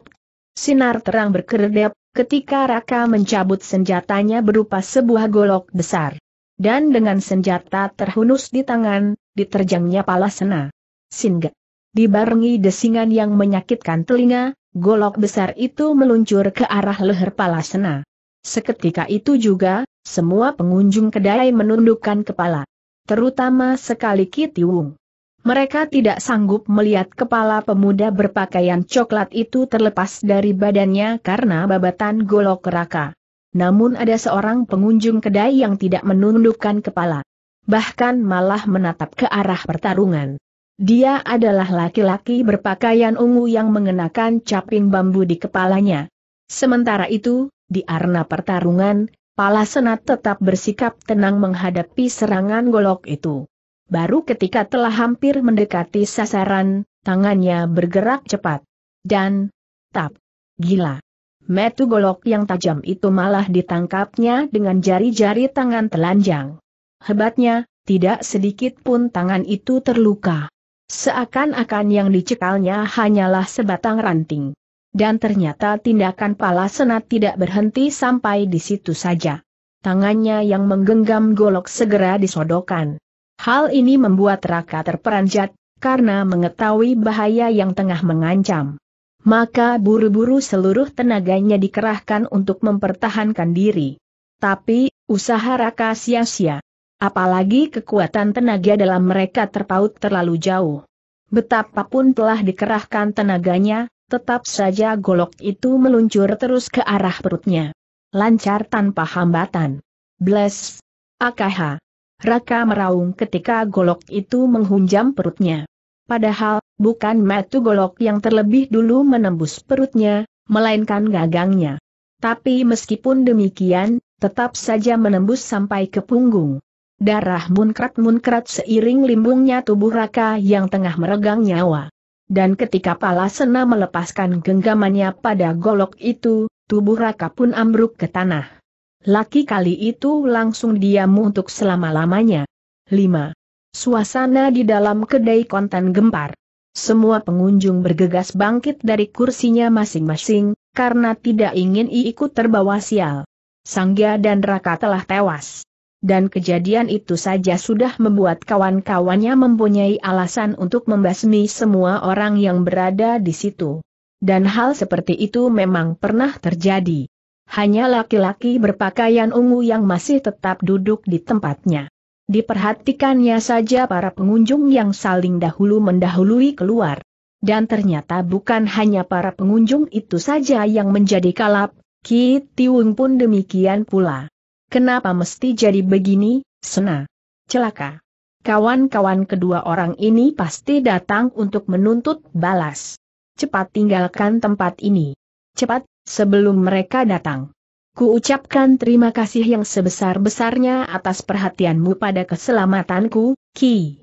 Tapi, aku bukan seorang pengecut yang hanya berani berbuat tanpa bertanggung jawab. Lantang dan tegas ucapan Palasena, sehingga membuat Kitiwung diam. Disadari kalau Palasena tidak mungkin bisa dibujuk untuk meninggalkan tempat itu. Ada tekanan yang tidak menghendaki adanya bantahan dalam ucapannya. Lagi pula bila aku pergi, maka para penduduk desa ini yang menjadi pelampiasan kemarahan mereka. Terutama sekali, kau, Ki. Dan aku tidak menginginkan hal itu terjadi, sambung Palasena lagi. Biarkan ku hadapi mereka, apa pun yang terjadi. Hahaha. Ki Tiwung hanya bisa menghela napas berat. Dalam hatinya, dia memuji sikap Palasena. Pemuda berpakaian coklat ini ternyata mempunyai pendirian yang teguh. Sementara, Palasena mengedarkan pandangan ke sekeliling. Tampak seisi kedai sudah sepi. Tidak ada pengunjung lagi yang tergopoh-gopoh untuk keluar. Memang, mereka semua telah keluar dari kedai dengan meninggalkan pembayaran atas pesanannya di meja masing-masing. Namun Pala Senat terperanjat juga ketika melihat ada seorang pengunjung yang belum keluar kedai dan masih duduk tenang di kursinya. Bahkan sambil menggeragoti potongan ayam panggang. Mengapa orang ini tidak ikut keluar?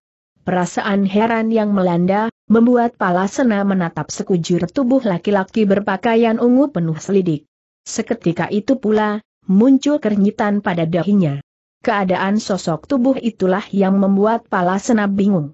Tampak jelas kalau laki-laki berpakaian ungu itu mempunyai rambut panjang berwarna putih keperakan. Tapi, mengapa tubuhnya tampak demikian kekar? Bahkan kedua tangan yang tengah sibuk memegang potongan ayam panggang yang sesekali dibawa ke mulutnya tampak kekar dan tidak berkeriput. Aneh. Sayangnya, Pala Senat tidak bisa melihat wajah laki-laki berpakaian ungu itu. Karena di samping laki-laki berambut putih keperakan itu mengenakan caping, makanya pun sambil menundukkan kepala. Sehingga, yang terlihat hanyalah caping bambu dan juntayan rambut yang melewati leher. Kau kenal orang itu, Ki, bisik Pala Sena sambil menoleh ke arah Ki Tiwung. Laki-laki pemilik kedai itu menggelengkan kepala. Dia seperti juga kau, Sena. Baru sekali bersantap di sini, jawab Kitiwung dengan suara tak kalah pelan. Hektometer. Pala Sena hanya bisa mengguman pelan sambil mengangguk-anggukan kepala. Sementara, sepasang matanya masih tertuju pada laki-laki bercaping bambu itu disertai perasaan curiga. Memangnya kenapa? Sena tanya Kitiwung ingin tahu. Orang ini kelihatan mencurigakan, Ki. Jangan-jangan dia merupakan anggota gerombolan itu. Tanda petik. Tidak, Senaki Tiwung menggelengkan kepala. Aku tahu betul. Tidak ada anggota gerombolan itu yang mempunyai ciri-ciri seperti dia pala senak kontan terdiam. Bisa kau ceritakan padaku, siapa mereka dan apa yang tengah terjadi di desa ini? Ki tanya pala sena. Ki Tiwung tidak langsung menjawab pertanyaan itu. Ditariknya napas dalam-dalam, dan dihembuskannya kuat-kuat. Seakan-akan, dia tengah membuang sebuah ganjalan yang bersarang di dalam rongga dadanya. Kejadiannya berawal dari tewasnya ayahmu, Sena, Ki Tiwung mulai membuka cerita. Jadi, pengacau-pengacau itu mempunyai hubungan dengan si keparat dewa seribu kepalan tukas palasena, geram. Bukan demikian maksudku, Sena, sahut Kitiwung masih tetap tenang. Gerombolan ini sama sekali tidak mempunyai hubungan dengan Dewa Seribu Kepalan, tapi dengan murid-murid memedit tangan api. Mereka semua tadi adalah pengikut memedit tangan api. Entah, siapa itu memedit tangan api. Aku sendiri sama sekali tidak mengetahuinya. Yang ku tahu, gerombolan itu datang kemari, dua tahun setelah kematian ayahmu. Dan selama itu, mereka telah mengacau desa ini tanya Palasena, untuk mendapatkan kepastian. Ki Tiwung menganggukkan kepala. Hal ini tidak bisa dibiarkan. Aku harus menumpasnya. Hahaha. Kalau tidak karena perbuatan Dewa Seribu Kepalan, desa ini tidak akan diporak-porandakan orang tandas Palasena geram. Apabila urusan ini telah kuselesaikan, akan kucari Dewa Seribu Kepalan biar ke perut bumi sekalipun kau bersembunyi, tetap akan ku kejar. Ki Tiwung tidak menyambuti. Dia tahu perasaan yang tengah berkecamuk dalam hati Palasena. Itulah sebabnya, laki-laki tua ini mengambil sikap demikian. Aku mendengar banyak langkah kaki menuju kemari, Ki, kata Palasena. Kau tunggu di sini. Biar aku yang akan menyambut kedatangan mereka di luar, agar kedaimu tidak hancur. Pemuda berpakaian coklat itu lalu melesat keluar. Luar biasa. Hanya dengan sekali lesat saja, dia telah berada di luar. Bahkan bentuk tubuhnya hampir tidak terlihat ketika melesat. yang terlihat hanyalah sekelebatan bayangan coklat yang tahu-tahu telah berada di depan pintu kedai. Ki Tiwung menggeleng-gelengkan kepala melihat hal ini. Sungguh tidak disangka kalau Palasena akan selihai ini. Meskipun demikian, dia tidak yakin kalau Palasena akan mampu menghadapi gerombolan itu. Ki Tiwung tercenung, dan hatinya dilanda kebimbangan. Apakah dia di dalam saja, atau keluar untuk menemani pemuda berpakaian coklat itu. Setelah mempertimbangkannya masak-masak diputuskannya untuk ikut keluar. Tapi baru saja melangkah beberapa tindak, sesosok bayangan ungu melintas di hadapannya. Gerakannya cepat bukan main, sehingga yang terlihat hanya sekelebat bayangan ungu yang tidak jelas bentuknya. Karena tahu kalau yang berada di dalam kedai hanya laki-laki berambut putih keperakan, Ki Tiwung segera menolehkan kepala ke sana. Dan ternyata, dugaannya benar. Laki-laki berpakaian ungu sudah tidak ada lagi di tempatnya semula. Buktinya, kursi tempat duduknya telah kosong. Ki Tiwung menggeleng-gelengkan kepala. Ternyata, laki-laki berambut putih keperakan yang diduga seorang kakek itu memiliki kepandaian tinggi pula. Buktinya, dia mampu melesat tanpa bisa dilihat. Tapi, Ki Tiwung buru-buru melupakan hal itu. Segera langkahnya dilanjutkan kembali. Sehingga beberapa saat kemudian, dia telah berada di luar kedai. Ki Tiwung kini melihat Palasena tengah berdiri berjarak tiga tombak di depannya. Sikap pemuda berpakaian coklat itu tampak tenang. Padahal, tak jauh di depannya tengah bergerak mendatangi belasan orang laki-laki berwajah dan bersikap kasar. Dada Ki Tiwung berdebar tegang melihat hal ini. Hatinya merasa cemas bukan kepalang. Karena disadari, bila Palasena gagal menahan serbuan gerombolan itu, dia dan anaknya akan menjadi korban kemarahan rekan-rekan Sangga dan Raka. Mendadak, Ki Tiwung teringat kembali pada laki-laki berpakaian ungu yang tadi berada dalam kedainya. Ke mana gerangan laki-laki itu? Di pihak manakah dia berdiri? Kalau di pihak lawan, jelas akan semakin menambah beratnya beban Palasena. Buktinya ilmu meringankan tubuhnya telah cukup tinggi. Teringat akan hal itu, Ki Tiwung pun mengedarkan pandangan. Tapi, ternyata tetap saja tidak dijumpai keberadaan laki-laki bercaping bambu tadi.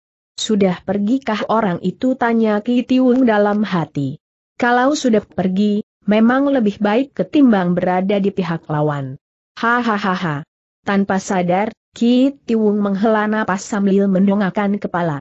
Kontan sepasang matanya terbelalak lebar, karena orang yang dicari-carinya ternyata berada di atas cabang sebatang pohon yang tumbuh lima tombak dari depan kedainya. Ki Tiwung mengucek-ngucek matanya untuk meyakinkan kalau tidak salah lihat. Betapa tidak bingung. Di situ, tampak laki-laki bercaping itu tengah duduk bersila di atas sebuah cabang pohon kecil sebesar ibu jari kaki. Bahkan cabang pohon itu sampai melengkung, karena hampir tak mampu menahan bobot laki-laki berpakaian ungu itu. Tapi hebatnya, tubuh laki-laki itu sama sekali tidak bergeming. Setelah beberapa kali mengucek-ngucek mata, ternyata pemandangan itu masih tetap terlihat oleh Kitiwung. Kini laki-laki tua itu yakin kalau sepasang matanya tidak keliru. Maka kontan bulu keduk laki-laki pemilik kedai ini pun merinding. Apakah laki-laki berambut putih keperakan itu bukan manusia? Atau memang hantu? Perasaan takut yang muncul, memaksa Kitiwung mengalihkan pandangan ke arah Palasena yang tengah berdiri menunggu tibanya gerombolan teman-teman Sangga dan Raka. Ternyata gerombolan itu telah berjarak empat tombak dari Palasena yang masih juga berdiri tenang. Dan ketika telah berjarak tiga tombak, mereka semua menghentikan langkah. Dan kini, kedua belah pihak telah saling berhadapan. Palasena seorang diri, sedangkan gerombolan itu berjumlah belasan. Palasena menatap wajah orang-orang kasar yang berdiri di hadapannya. Sekali lihat saja, bisa diketahui kalau mereka memiliki kepandaian yang tidak jauh berbeda dengan Sangga dan Raka. Hanya satu orang saja yang mendapat perhatian lebih dari Palasena, yakni seorang laki-laki berusia 35 tahun, dan berkepala botak. Sebuah rompi berwarna hitam tampak membungkus tubuhnya yang pendek gemuk. Perutnya yang gendut, membuat rompi yang dikenakannya tidak mampu menutup seluruh bagian depan tubuhnya. Inikah yang disebut Seng pemimpin tanya Palasena dalam hati. Palasena menduga demikian, karena melihat perbedaan yang menyolok antara laki-laki pendek gemuk ini dengan belasan orang lainnya. Buktinya, gerombolan orang kasar itu terlihat menghormati orang ini. Ditambah lagi, langkah kaki dan sorot matanya semakin meyakinkan Palasena akan kebenaran dugaannya. Langkah kaki laki-laki pendek gemuk itu terlihat ringan dan gesit, tidak terlihat kalau bentuk tubuhnya menyulitkan langkahnya. Sementara, sepasang matanya yang berkilat-kilat tajam menatap bengis ke arah Palasena. Kaukah orang yang telah membunuh anak buahku, keparat busuk tanya laki-laki pendek gemuk itu, penuh ancaman. Benar Palasena menganggukkan kepala. Bahkan bukan hanya mereka berdua saja yang akan kulenyapkan. Tapi juga kau dan semua orang-orangmu. Keparat. Kau benar-benar tidak tahu penyakit, anjing buduk. Tidak tahukah, dengan siapa kau berhadapan sekarang bentak laki-laki berperut gendut itu. Aku memang tidak kenal orang yang tengah berada di hadapanku. Yang jelas, sekarang aku tengah berhadapan dengan seorang penjahat rendah yang hanya berani menindas orang-orang tidak berdaya sambut palasena, lantang. Keparat. Cincang dia teriak laki-laki berkepala botak itu, keras sambil mengibaskan tangan ke depan. Tanpa menunggu perintah dua kali, belasan orang di belakangnya yang sejak tadi sudah tidak sabar, segera bergerak. Serat, singget, wuk. Desing suara senjata kontan terdengar ketika belasan orang itu mengeluarkan senjata masing-masing. Golok, pedang, tombak, dan trisula telah tergenggam di tangan masing-masing. Dalam siraman sinar matahari siang, kilatan lidah senjata gerombolan itu sangat menyilaukan mata. Sehingga, membuat Kitiwung terpaksa menutup mata karena silau. Haaat. Diiringi teriakan-teriakan keras yang membahana, belasan orang itu meluruk ke arah Palasena. Senjata-senjata di tangan masing-masing langsung bergerak, disertai suara mendesing nyaring. Namun Palasena tidak gugup melihat hujan berbagai macam senjata yang meluruk ke arahnya. Berbeda dengan sebelumnya, kali ini dia tidak berdiam diri. Pemuda berpakaian coklat itu melesat, menyambut serbuan lawan-lawannya. Hebatnya, Palasena hanya menggunakan tangan kosong. Laki-laki berperut gendut itu mengerutkan alisnya ketika melihat Palasena sama sekali tidak menggunakan senjata. Ini menandakan kalau pemuda berpakaian coklat itu merasa yakin akan kemampuannya dalam menundukkan lawan-lawan dengan tangan kosong. Dan hal itu berarti tingkat kepandaian Palasena tidak bisa dianggap remeh. Melihat hal itu, membuatnya jadi penasaran. Benarkah Palasena mampu menghadapi dan mengalahkan serbuan anak buahnya dengan tangan kosong? Maka dengan penuh perhatian, pandangannya dipalingkan ke arah pertarungan. Laki-laki bertubuh pendek gemuk ini bukan satu-satunya orang yang menyaksikan jalannya pertarungan masih banyak penonton pertarungan Palasena. Dua di antaranya adalah laki-laki berambut putih keperakan, dan Kitty Wung. Di samping mereka, ada juga orang-orang yang menyaksikan jalannya pertarungan secara sembunyi-sembunyi. Mereka adalah para penduduk desa yang mengintai dari tempat tersembunyi. Baik melalui celah-celah dinding, pintu, maupun jendela. Sementara itu, kedua belah pihak yang tengah bertarung sama sekali tidak mempedulikan sekelilingnya. Masing-masing memusatkan perhatian pada lawan yang tengah dihadapi. Memang, baik Palasena maupun lawan-lawannya berusaha untuk secepatnya membunuh satu sama lain. Itulah sebabnya, Palasena harus mengerahkan seluruh kemampuannya. Ilmu meringankan tubuh dan tenaga dalam yang dimiliki, dikeluarkan semua. Akibatnya pun menakjubkan. Setiap serangan anggota gerombolan itu selalu mengenai tempat kosong. Dalam pengerahan ilmu meringankan tubuhnya, pala senap bagaikan berubah menjadi bayangan. Malah dengan mudah tubuhnya menyelinap ke sana kemari, di sela-sela hujan serangan senjata lawan-lawannya. Palasena benar-benar membuat lawan-lawannya seakan-akan tengah menyerang bayangan. Tentu saja yang dilakukan Palasena tidak hanya mengelak saja. Sering pula dia menangkis. Bahkan dengan tangan telanjang. Hebatnya, setiap serangan golok, tombak, pedang, dan trisula, tidak membuat kulit tangannya lecet. Memang dalam lindungan tenaga dalamnya, tangan pemuda berpakaian coklat itu tidak kalah kuat dibanding senjata-senjata lawannya. Maka tidak aneh bila pertarungan baru berlangsung beberapa gebrakan, korban di pihak lawan telah jatuh. Palasena memang tidak main-main dalam bertindak. Pengeroyok yang sial itu langsung tewas setelah mengeluarkan lolong kematian yang membuat bulu Roma berdiri. Dan sebelum jeritan kematian itu lenyap, kembali terdengar lolong kematian lainnya, diikuti robohnya sesosok tubuh ke tanah dalam keadaan tidak bernyawa lagi. Hebat bukan kepalang sepak terjang palasena. Setiap kali tangan atau kakinya bergerak, satu nyawa pasti roboh ke tanah dalam keadaan tidak bernyawa lagi. Dalam waktu sebentar saja, lawan-lawan yang dihadapinya hanya tinggal empat orang. Tidak heran, akhir dari pertarungan sudah bisa ditebak keparat. Laki-laki berperut gendut tidak bisa menahan kesabaran lagi. Memang, sudah sejak tadi hatinya geram melihat kematian anak buahnya satu persatu. Maka begitu ucapan makiannya keluar, kakinya menjejak tanah. Sesaat kemudian, tubuhnya segera telah meluruk ke arah Palasena membawa ancaman kematian. Gerakan laki-laki berkepala botak ini tampak aneh. Malah, Lompatan yang dilakukannya, lebih mirip lompatan seekor kodok. Apalagi, jangkauan lompatannya memang amat jauh. Palasena tahu adanya serangan dari laki-laki berkepala botak itu. Tapi karena saat itu serangannya tengah meluncur ke arah salah seorang lawan, maka diputuskannya untuk meneruskan serangannya lebih dulu. AKH. Kembali terdengar jerit kematian dari salah seorang gerombolan pengacau desa Sawang, ketika jari tangan Palasena menotok jalan darah kematian di leher. Maka, orang itu kontan roboh tanpa nyawa di tanah. Pada saat yang hanya sekejapan mata, laki-laki berkepala botak itu telah berada di dekatnya. Dan begitu Palasena menarik pulang tangannya, pemimpin gerombolan itu menghentakkan kedua tangannya ke arah dada. Melihat hal ini, tanpa pikir panjang lagi Palasena langsung memapak serangan lawan dengan gedoran kedua tangannya pula. Keadaan jari-jari tangannya pun terbuka, seperti halnya laki-laki gemuk itu.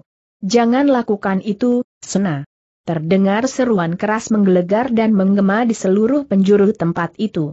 Jelas, teriakan itu dikeluarkan lewat pengerahan tenaga dalam tinggi. Palasena terkejut mendengar peringatan itu dan ketika hidungnya mencium bau amis yang memuakan dari kedua tangan lawan, baru disadari adanya bahaya mengancam.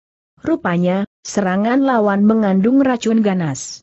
Tapi, kesadaran yang datang telah terlambat. Karena, plak, benturan keras terdengar ketika dua pasang tangan yang sama-sama mengandung tenaga dalam tinggi berbenturan. Akibatnya, tubuh masing-masing sama-sama terjengkang ke belakang. Lelaki pendek gemuk menyeringai saat merasakan kedua tangannya seperti lumpuh ketika benturan terjadi jelas, tenaga dalam pala sena jauh lebih kuat ketimbang dirinya. Bukan itu saja. Tubuhnya pun juga melayang ke atas. Memang, sewaktu benturan tadi terjadi, tubuhnya tengah berada di udara. Setelah melayang sejauh beberapa tombak, laki-laki berkepala botak ini berhasil mendarat di tanah. Meskipun dengan agak sempoyongan. Langsung dikerahkannya tenaga untuk menghilangkan rasa sesak di dada dan sakit-sakit pada kedua tangan, akibat benturan keras tadi. Memang buruk keadaan yang dialami kepala gerombolan pengacau itu. Tapi, masih lebih buruk lagi keadaan yang diderita Palasena. Meskipun murid lawata itu hanya terhuyung satu langkah ke belakang, tapi keadaannya lebih mengkhawatirkan. Kedua telapak tapak tangannya segera, penuh bintik-bintik merah.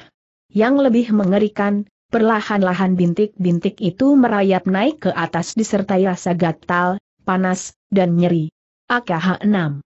Palasena memekik tertahan. Padahal, telah diusahakan dengan sekuat tenaga untuk tidak mengeluarkan jeritan itu. Tapi, ternyata tidak mampu juga. Pengaruh racun itu memang terlalu kuat untuk bisa ditangkal. Cepat kemarikan tanganmu. Jangan lalai. Dan seiring lenyapnya gemas suara itu, di sebelah pala senat telah berdiri seorang laki-laki berpakaian ungu.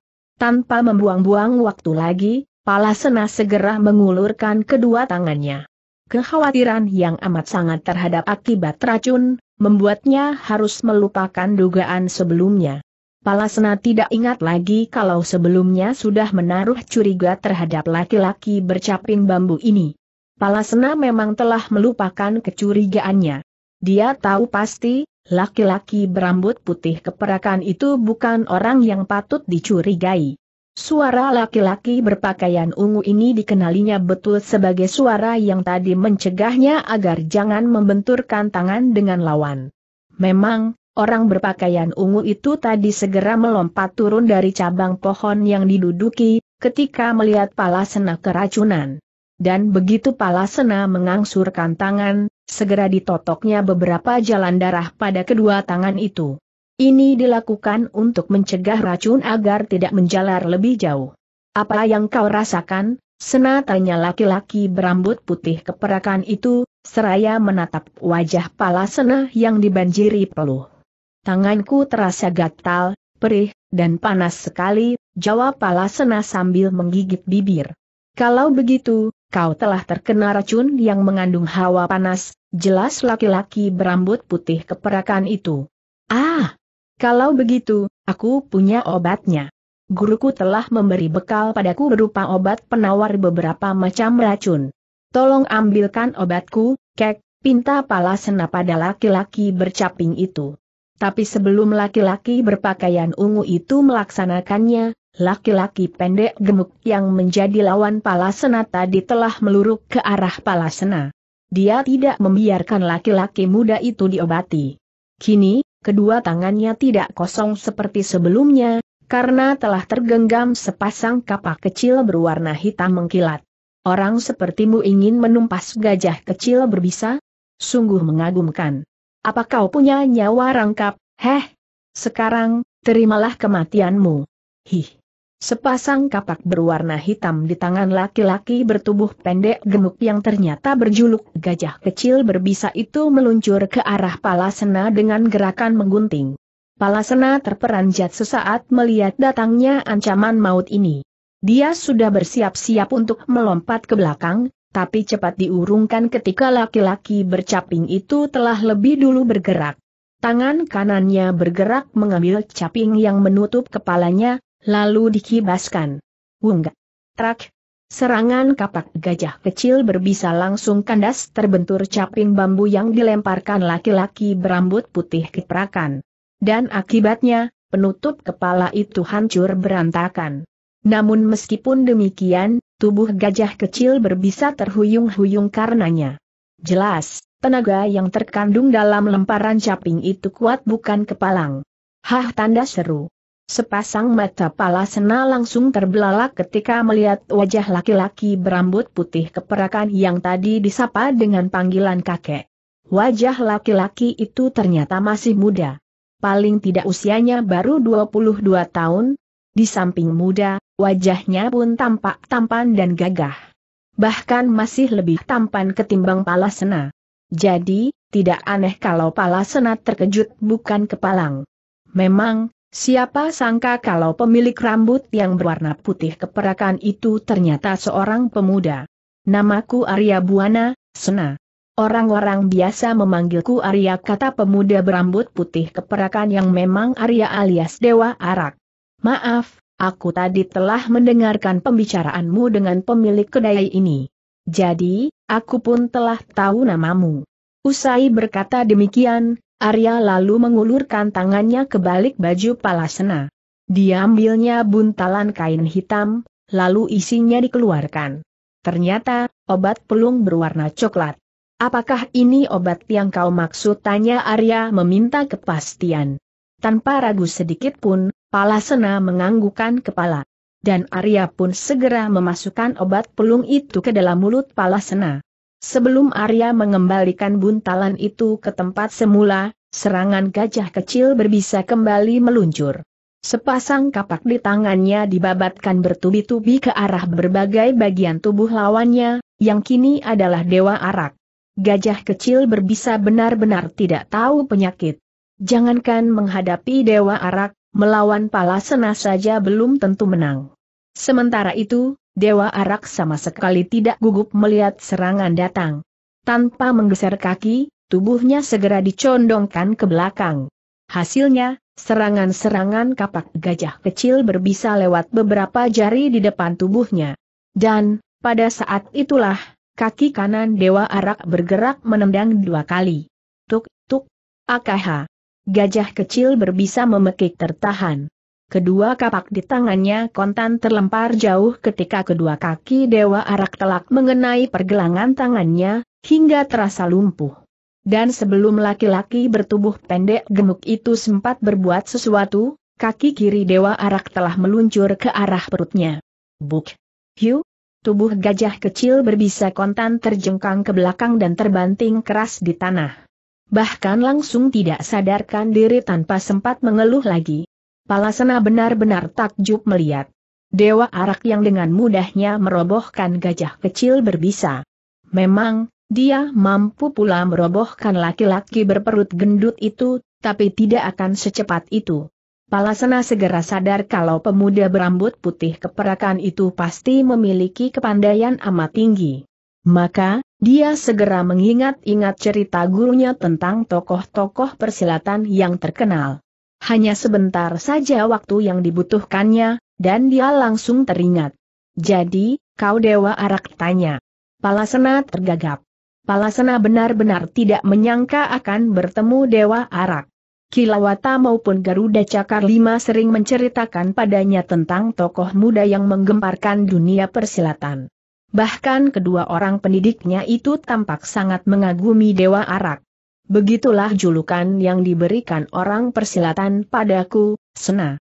Tapi, aku lebih suka kau memanggilku Arya, sahut pemuda berambut putih keperakan itu, buru-buru. Pala Sena hanya tersenyum saja, tanpa menyambuti ucapan Arya. Rupanya obat yang diberikan gurumu manjur, Sena, kata Arya. Palasena segera memandang ke arah kedua tangannya. Dan ternyata, memang benar. Bintik merah pada kedua tangannya sudah mulai melenyap. Sampai akhirnya, lenyap sama sekali. Mendadak. Selamat tinggal, Sena. Palasena terperanjat mendengar ucapan itu. Tapi belum sempat berkata apa-apa, Arya telah melesat meninggalkan dirinya. Dan hanya dalam beberapa kali lesatan saja, tubuh pemuda berambut putih keperakan itu telah belasan tombak di depan. Hahaha. Palasena hanya bisa menghela napas, tanpa berusaha mengejar. Dia sadar, hal itu akan sia-sia. Jarak antara mereka terpaut terlalu jauh.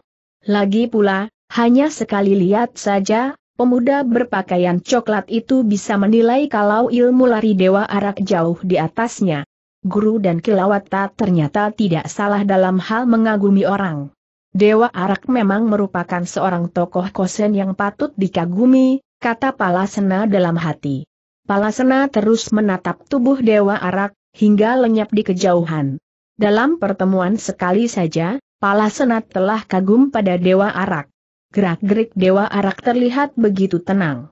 Sikapnya terlihat demikian matang. Baru setelah tubuh Dewa Arak tidak terlihat lagi, Palasena melangkah menuju kedai. Ki Tiwung yang sejak tadi hanya memperhatikan, segera melangkah mengikuti. Sesaat kemudian, seisi desa sawang gempar ketika terdengar berita dari mulut ke mulut kalau gajah kecil berbisa bersama rombongannya telah berhasil ditumpas putra pendekar tombak sakti yang datang bersama kawannya. Apa?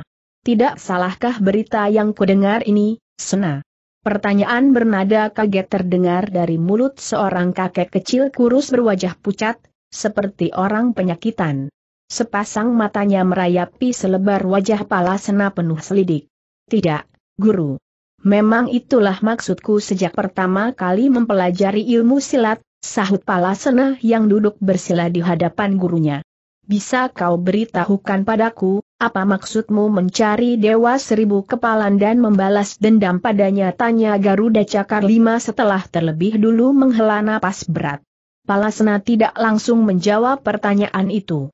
Dia termenung untuk mencari kata-kata yang tepat, guna memulai ceritanya. Memang, pemuda berpakaian coklat belum pernah menceritakan tentang sakit hatinya. Maka ketika keinginan hatinya diutarakan, Garuda Cakar Lima terkejut bukan kepalang. Si keparat Dewa Seribu Kepalan telah membunuh ayah dan ibuku, guru, jawab Palasena, penuh dendam. Hentikan makianmu terhadap Dewa Seribu Kepalan, Sena. Dari siapa cerita busuk seperti itu kau dapat hardik Garuda Cakar Lima keras penuh kemarahan. Tapi itu bukan cerita busuk, guru. Buktinya seluruh penduduk desa Sawang menyaksikan pertarungan yang berlangsung antara ayah dan Dewa Seribu Kepalan. Bibiku pun mengatakan kalau pembunuh ayah dan ibuku adalah Dewa Seribu Kepalan bantah pala senat tak mau kalah. Hahaha Garuda Cakar Lima menghela napas, melihat sikap keras muridnya. Apakah kau sudah menceritakan maksudmu ini pada Kilawata? Sudah, Guru. Bagaimana sambutannya? Sena tanya Garuda Cakar Lima penuh gairah. Pala Sena menggelengkan kepala. Kilawata sama sekali tidak mengatakan apa pun. Aku hanya disuruhnya mengamalkan ilmu yang kumiliki.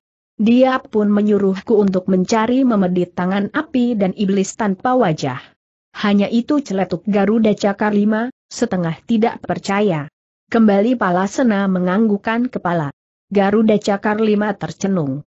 Memangnya ada apa guru tanya. Palasena heran melihat sikap Garuda Cakar Lima. Tidak apa, jawab Garuda Cakar Lima setengah mendesah. Hanya saja aku merasa heran, mengapa Kilawata tidak menceritakannya padamu. Maksud, guru desak Palasena ingin tahu. Mengenai kematian ayahmu di tangan Dewa Seribu Kepalan. Aku masih belum mengerti maksud guru, dari pemuda berpakaian coklat itu berkenyit dalam. Garuda Cakar Lima menatap wajah pala Sena lekat-lekat. Lupakanlah, Sena. Kelak, kau pun akan tahu. Hanya kalau kau bersedia mendengar saranku, lupakan saja niatmu untuk membalas dendam pada Dewa Seribu Kepalan.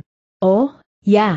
Apakah Kilawata pernah menceritakan padamu tentang Dewa Seribu Kepalan? Palasena menggelengkan kepala. Garuda Cakar Lima mengernyitkan dai. Benar-benar aku tidak habis mengerti tindakan Kilawata, Sena. Seharusnya hal itu harus sudah diceritakannya padamu.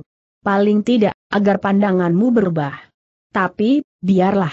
Aku yang akan mewakilinya untuk menceritakannya, Garuda Cakar Lima menghentikan ucapannya sejenak, untuk mengambil napas.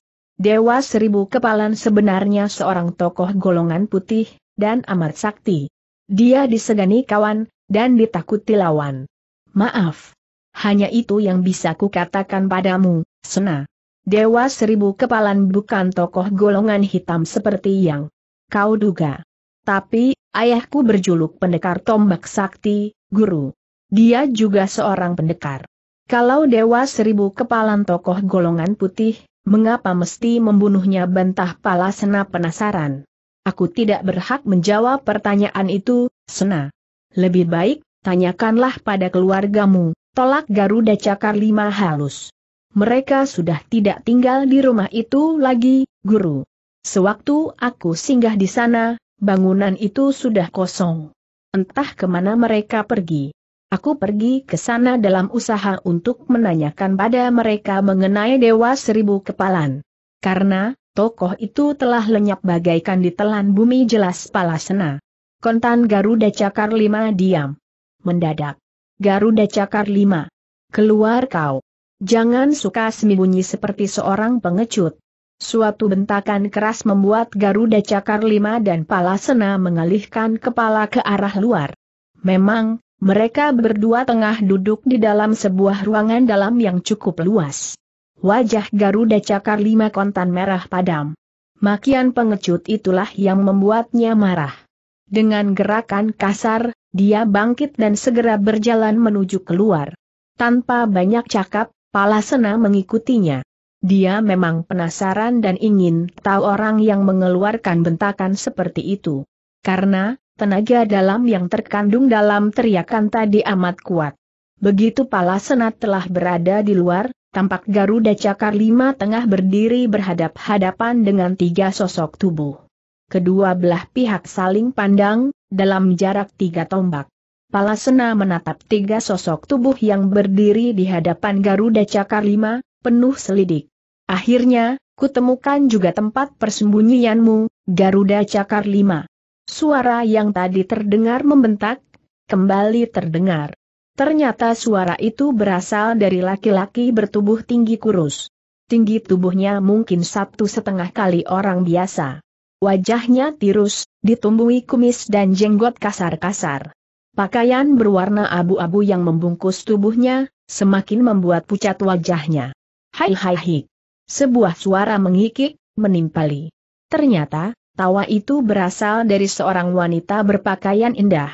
Wajahnya terlihat cantik, meskipun usianya tak kurang dari 40 tahun. Dikiranya, dia sudah lepas dari cengkeraman tangan kita, memedi tangan api. Lucu. Lucu sekali, sambut wanita berpakaian indah itu. Laki-laki bertubuh jangkung yang ternyata berjuluk memedi tangan api mendengus. Keras sekali dengusannya, sehingga tak kalah dengan dengusan seekor kerbau liar. Sekarang ingin kulihat, ke mana dia akan melarikan diri, iblis tanpa wajah, sambut memedit tangan api sambil mengumandangkan tawa penuh ejekan pada Garuda Cakar lima. Biar aku yang membunuhnya, Bu, kata gadis cantik berpakaian hitam. Nada suaranya terdengar dingin, sedingin sorot metu dan raut wajahnya. Tidak usah, Widuri, tolak iblis tanpa wajah. Biar memedit tangan api yang akan membunuhnya. Dan kita tinggal menontonnya. Widuri gumam palasena dengan bibir bergetar. Ingatan pemuda berpakaian coklat itu melayang pada seorang gadis kecil yang ditinggalkannya enam tahun yang silam. Sama sekali tidak disangka kalau Widuri tumbuh menjadi seorang gadis berwatak seperti itu. Dingin. Sementara itu, Garuda Cakar Lima tetap bersikap tenang. Padahal, sebenarnya jantung di dalam dadanya berdebar tegang. Kiranya memedit tangan api dan iblis tanpa wajah. Sama sekali tidak kusangka akan bisa bertemu kalian lagi, Terlihat tenang sikap Garuda Cakar Lima melihat kehadiran tiga orang itu. Bersenang-senanglah sebelum kami mencabut nyawamu, Garuda Cakar Lima. Muridku pun tengah bersenang-senang dengan cucumu. Mereka kami tinggalkan sewaktu adegan yang tak pantas dilihat orang tua sepertiku terpampang di depan mata. Kalem saja memedit tangan api mengucapkannya. Tapi, akibatnya bagi Garuda Cakar Lima tidak sesederhana itu. Wajah kakek kecil kurus ini pucat pasi. Tarikan wajahnya menunjukkan keterkejutan yang amat sangat. Kau jahanam. Apa yang kalian perbuat terhadap cucuku, manusia-manusia iblis bentak Garuda Cakar Lima, berang. Bukan hanya Garuda Cakar Lima saja yang merasa terkejut. Bahkan Palasena hampir terjingkat. Tanpa sadar, dia melangkah menghampiri dan berdiri di sebelah Garuda Cakar Lima. Memedi tangan api, iblis tanpa wajah, dan Widuri menatap wajah Palasena sekilas. Inilah pemuda yang telah membawa kami kemari, Garuda Cakar Lima. Pemuda ini telah menghancurkan gerombolan gajah kecil berbisa di desa Sawang. Begitu mendapat penjelasan anak buah kami tentang gerakannya, bisa terduga kalau dia adalah muridmu. Maka, kami menyusulnya. Dan, inilah akhirnya. Tutup mulutmu, memedi tangan api. Sekarang aku tidak peduli dengan maksud kedatangan kalian kemari. Yang kutanyakan, apa yang kalian lakukan terhadap cucuku dengus Garuda Cakar lima kalap? Loh, mana mungkin kami melakukan sesuatu terhadap cucumu? Iblis tanpa wajah dan putrinya adalah seorang wanita. Sedangkan aku sudah terlalu tua. Jadi, muridkulah yang mendapat keberuntungan. Maklum, dia seorang laki-laki dan masih muda, keparat. Ku bunuh kalian. Sambil meraung keras seperti seekor binatang buas murka, Garuda Cakar Lima melompat menerjang memedit tangan api. Disadari kalau lawan yang dihadapinya amat tangguh. Maka, tanpa ragu-ragu lagi seluruh kemampuannya dikerahkan. Ciit. Suara mencicik nyaring terdengar ketika Garuda Cakar Lima mengayunkan kedua tangannya yang terkembang membentuk cakar, ketika tubuhnya telah berada di udara. Memang, kakek kecil kurus ini telah mengeluarkan ilmu andalannya yakni jurus Garuda. 7. HMH. Memedi tangan api mendengus melihat serangan itu. Dengan sikap sembarangan, tangannya cepat diayunkan untuk menangkis serangan Garuda Cakar Lima. Prat. Benturan keras antara dua pasang tangan yang sama-sama dialiri tenaga dalam tingkat tinggi terjadi. Hasilnya, tubuh Garuda Cakar Lima kembali terjengkang ke belakang. Sedangkan memedit tangan api hanya tergempur saja kedudukannya. Keparat desis kakek tinggi kurus ini geram ketika melihat pergelangan bajunya hancur berantakan. Sementara itu, Garuda Cakar Lima segera bersalto beberapa kali di udara, kemudian mendarat manis di tanah. Dan sepasang metu kakek kecil kurus ini kontan membelalak ketika mengetahui pada pergelangan tangan memedit tangan api sama sekali tidak terjadi apa-apa. Padahal, sampokan Garuda Cakar Lima mampu menghancurkan batu yang paling keras sekalipun. Tapi, ternyata sama sekali tidak membuahkan hasil ketika berbenturan dengan tangan memedit tangan api. Jelas, dalam pengerahan tenaga dalam tadi, memedi tangan api telah membuat keampuhan cakar lawan menjadi putus.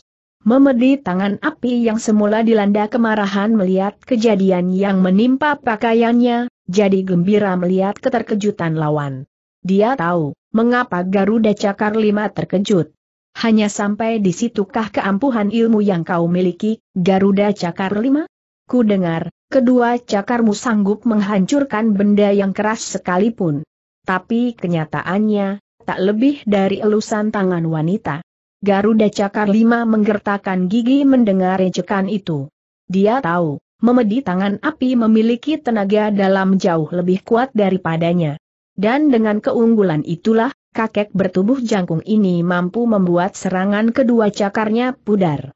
Tapi, hal itu tidak membuatnya gentar. Haaat. Didahului pekikan melengking nyaring yang menyakitkan telinga, Garuda Cakar Lima kembali menerjang memedit tangan api. Jurus Garudanya kembali dikeluarkan. Hebat bukan kepalang jurus Garuda milik Garuda Cakar Lima.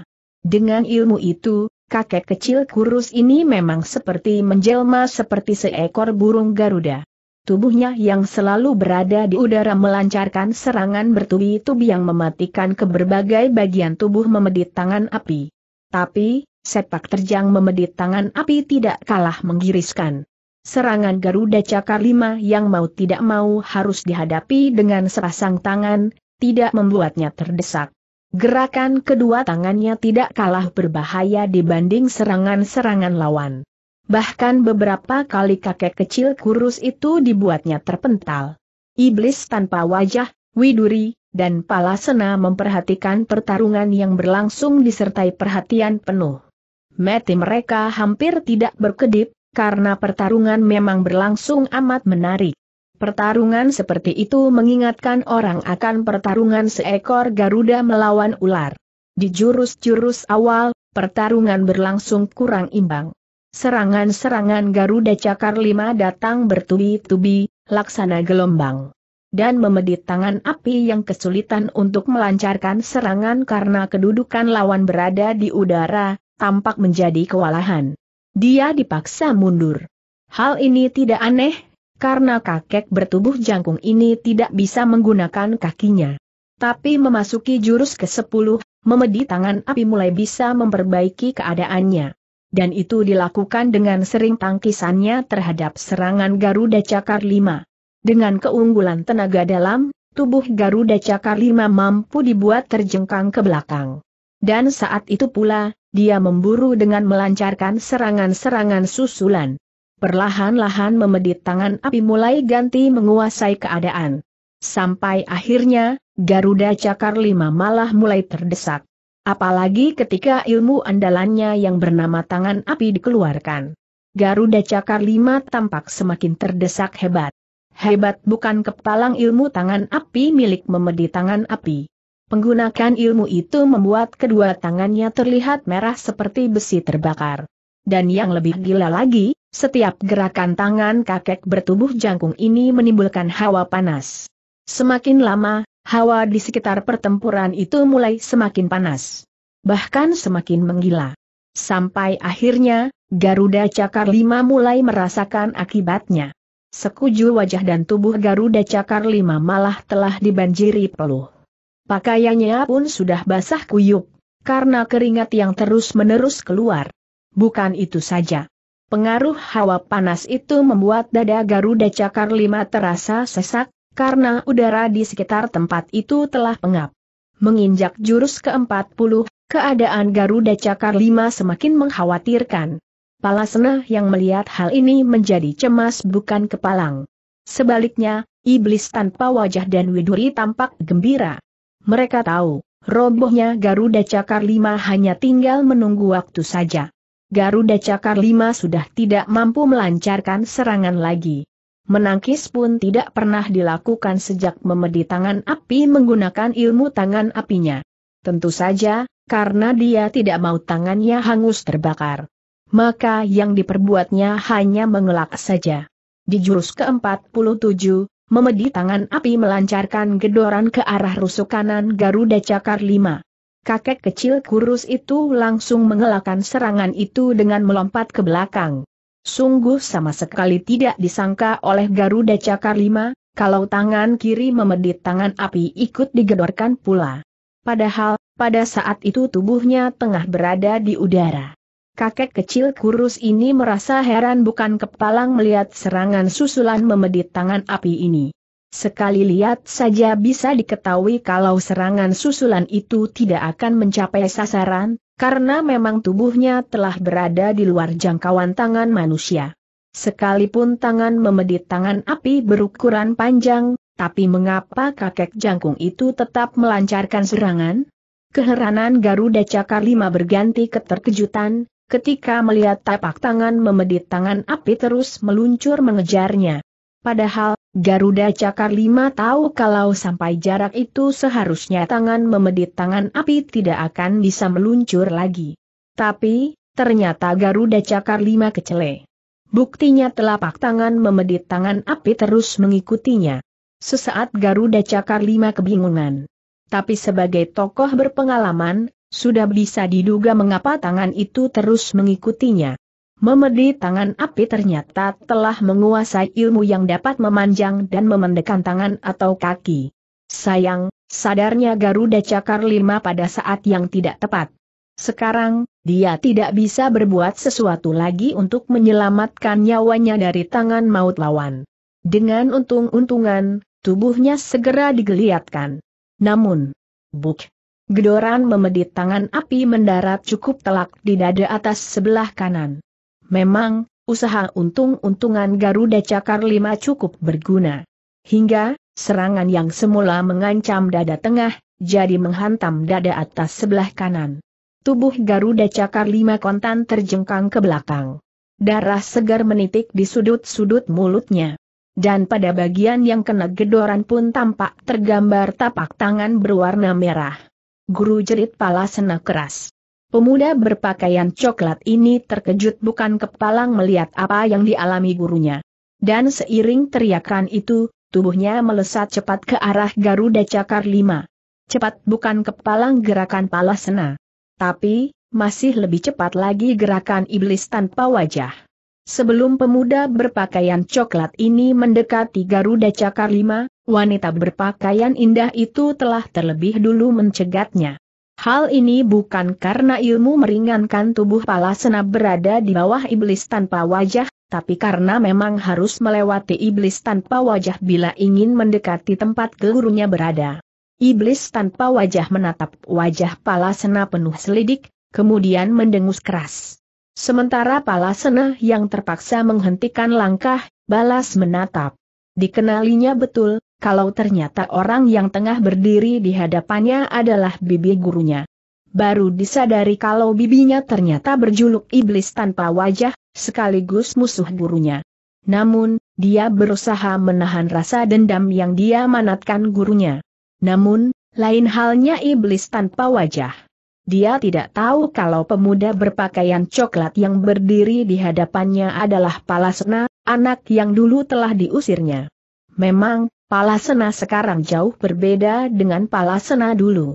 Kau harus bayar mahal atas perbuatanmu terhadap gajah kecil berbisa, anak sombong desis iblis tanpa wajah, penuh ancaman. Palasena menghela napas berat. Aku tidak ingin melawanmu, Bibi dan aku hanya ingin mengajukan pertanyaan padamu, setelah guru kuku tolong terlebih dahulu, kata Palasena, pelan. Keparat. Apa maksudmu memanggilku seperti itu, anak sombong? Cepat katakan sebelum kesabaranku hilang hardik iblis tanpa wajah disertai kerutan alis, karena heran mendengar panggilan Palasena terhadapnya. Aku Palasena, Bi. Apakah kau tidak ingat lagi? Hah tanda seru sepasang mata iblis tanpa wajah terbelalak. Bahkan mulutnya pun ternganga lebar.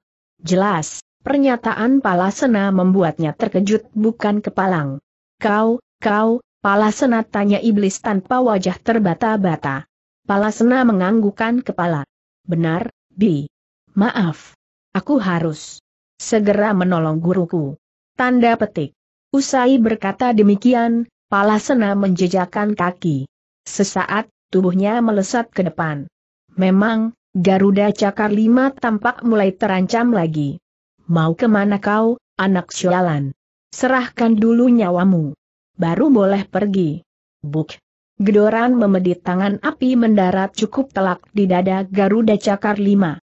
Sayang, kakek itu tidak menyadari hal ini sejak tadi.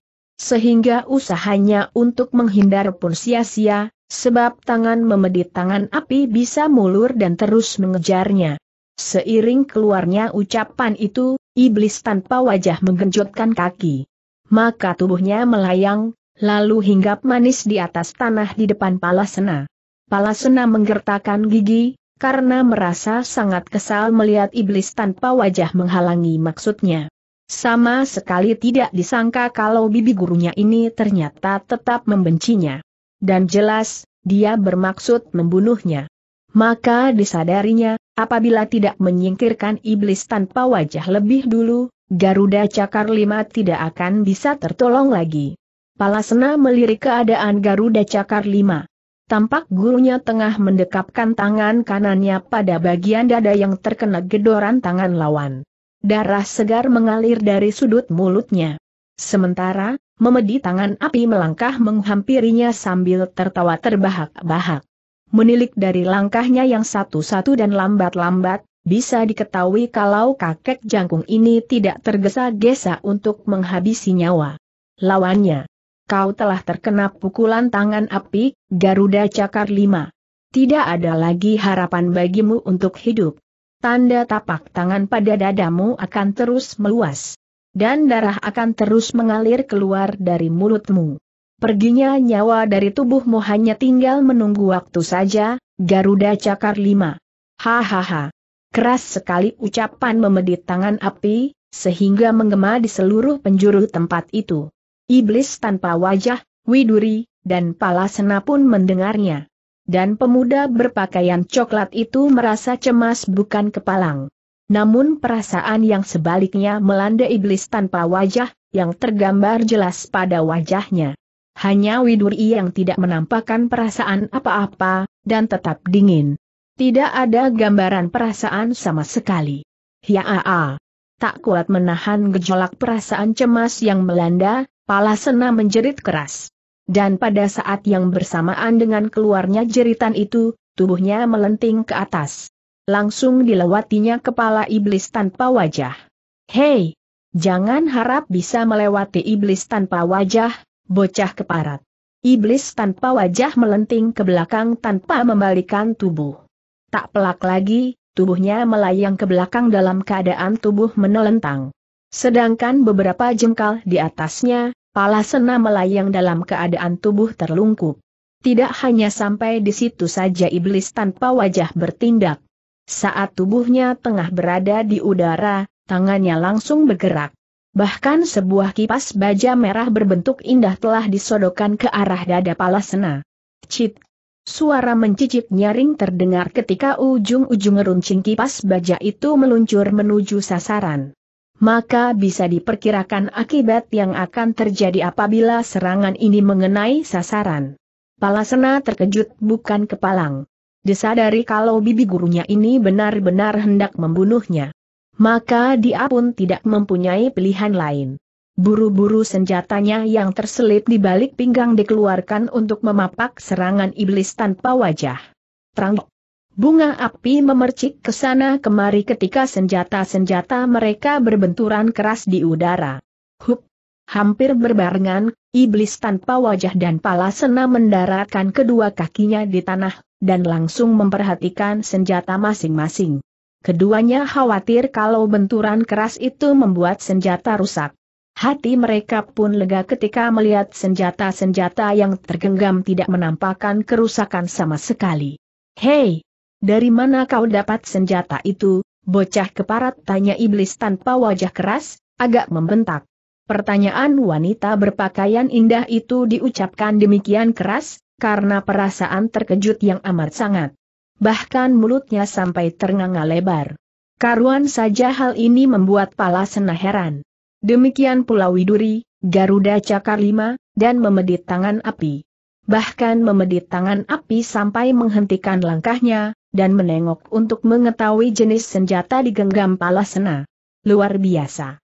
Tarikan keterkejutan yang menggelegak tampak pada wajah memedit tangan APT sorot matanya menampakkan ketidakpercayaan ketika menatap ke arah senjata yang tergenggam di tangan Palasena.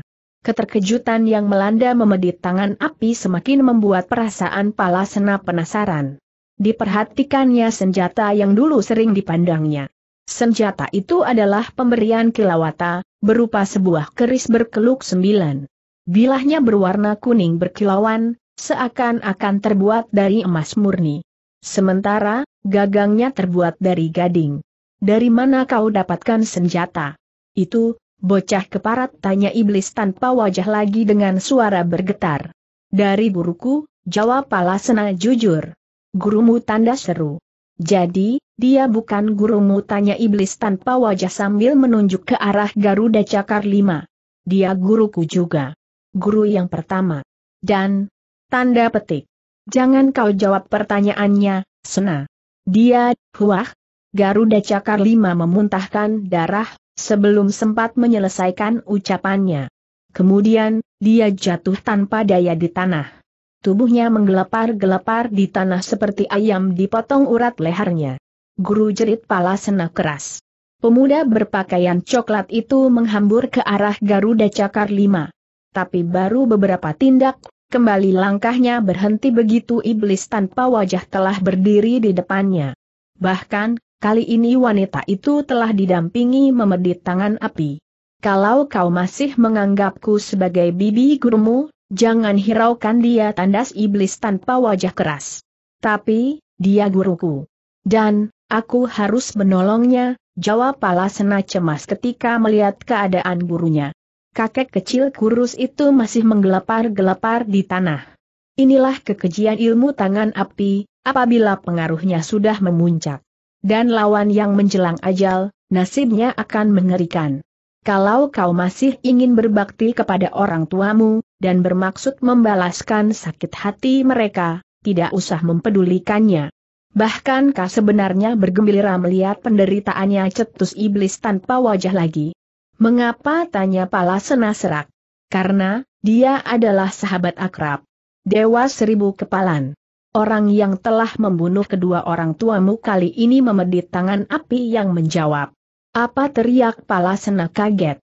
Kau bohong. Bohong. Ku bunuh kau. Hiaat. Dengan kemarahan meluap-luap, Palasena menerjang memedit tangan api. Kedua tangannya yang terkepal dipukulkan bertubi-tubi. Angin menderu keras terdengar, seiring tibanya serangan Palasena. Batu-batu besar kecil bergulingan dan beterbangan. Dari ini saja sudah bisa diperkirakan kekuatan tenaga dalam yang dimiliki Palasena. Memedi tangan api dan iblis tanpa wajah saling berpandangan dengan mata, terbelalak melihat kedahsyatan ilmu itu. Bahkan Widuri yang sejak tadi diam membisu, agak berubah wajahnya. Apalagi, ketika melihat kepalan tangan Palasena berubah menjadi banyak. Bahkan melihat hal ini, kepalanya menjadi pusing. Sukar untuk mengetahui bagian yang akan diserang. Hih! Memedi tangan api mengertakkan gigi, kemudian melompat memapak datangnya serbuan Palasena. Sudah bisa diperkirakan kalau kedua belah pihak akan berpapakan di tengah jalan. Bres! Di tengah-tengah perjalanan, benturan di udara tidak bisa dielakkan lagi. Keras bukan kepalang. Tubuh Palasena dan memedit tangan api kontan terjengkang ke belakang dan jatuh bergulingan di tanah. Tapi, baik Palasena maupun memedit tangan api ternyata sama-sama sigap. Dengan gerakan cepat dan indah, keduanya bangkit berdiri. Yang lucu, keduanya sama-sama menggelengkan kepala seperti hendak membuang rasa pusing yang menyerang. Palasena telah bersiap untuk melakukan serangan kembali. Tapi, tahan, Sena. Untuk pertama kalinya, iblis tanpa wajah memanggil pemuda berpakaian coklat itu dengan namanya. Kontan Palasena pun menoleh. Dan dengan sendirinya, niatnya untuk menyerang memedit tangan api diurungkan. Memedit tangan api sama sekali tidak menggunakan kesempatan itu untuk melakukan serangan. Kalau kau melanjutkan serangan, aku tidak akan memberitahukan tempat persembunyian musuh besarmu ancam iblis tanpa wajah. Maksudmu, Dewa Seribu Kepalan tanya Palasena setengah tidak percaya. Benar. Hanya aku, dia, dan kedua gurumu yang mengetahui tempat persembunyian Dewa Seribu Kepalan, jawab wanita berpakaian indah itu sambil menunjuk memedit tangan api. Benar, sahut memedit tangan api. Kau tahu, Dewa Seribu Kepalan telah menyembunyikan diri. Dan itu dilakukan setelah membunuh kedua orang tuamu. Hampir tidak ada orang yang mengetahui tempatnya. Dan kami bersedia mengantarmu ke sana. Asal, kau tidak menyerang kami. Kau bersedia berjanji. Palasena segera memikirkan tawaran memedit tangan api sejenak. Lalu, baiklah. Aku tidak akan menyerang kalian. Tapi, awas kalian jangan coba-coba permainkan aku ancam putra pendekar tombak sakti itu. Jangan khawatir sahut iblis tanpa wajah bernada yakin. Kalau begitu, mari kita berangkat ajak memedi tangan api, seraya beranjak meninggalkan tempat itu. Iblis tanpa wajah pun melangkah pula. Tapi, tunggu sebentar, aku akan menguburkan mayat guruku dulu, kata Palasena. Memang, Garuda Cakar Lima sudah tidak bernyawa lagi. Dia telah tewas ketika Palasena tengah bertarung melawan memedit tangan api. Kau masih mau menguburkan mayatnya? Kau harus tahu. Dia adalah sahabat baik musuh besar ayahmu, Sena tandas iblis tanpa wajah. Biar bagaimanapun juga, dia adalah guruku, Bibi, cetus Palasena ragu-ragu. Memang, ketika mengetahui Garuda Cakar Lima adalah sahabat Dewa Seribu Kepalan, hilanglah rasa hormat Palasena terhadap kakek itu. Bahkan keinginan untuk menguburkannya amat kecil. Tak aneh, begitu mendapat teguran iblis tanpa wajah jiwanya langsung melempem. Kita tidak punya banyak waktu, Sena. Aku khawatir, bila kita menguburkan mayat Garuda Cakar Lima lebih dulu, Dewa Seribu Kepalan akan keburu melarikan diri. Lagi pula, mayat itu bisa diurus Kuntari. Palasena mengangguk-anggukan kepala pertanda membenarkan usul bibi gurunya. Benaknya seakan buntu, dan tidak bisa diajak berpikir. Sama sekali tidak teringat kalau menurut cerita memedit tangan api tadi, Kuntari tengah berada dalam cengkeraman murid kakek jangkung itu. Kali ini Palasena tidak menahan lagi ketika memedit tangan api, iblis tanpa wajah, dan Widuri melangkah meninggalkan tempat itu. Bahkan ikut melangkah di belakang mereka.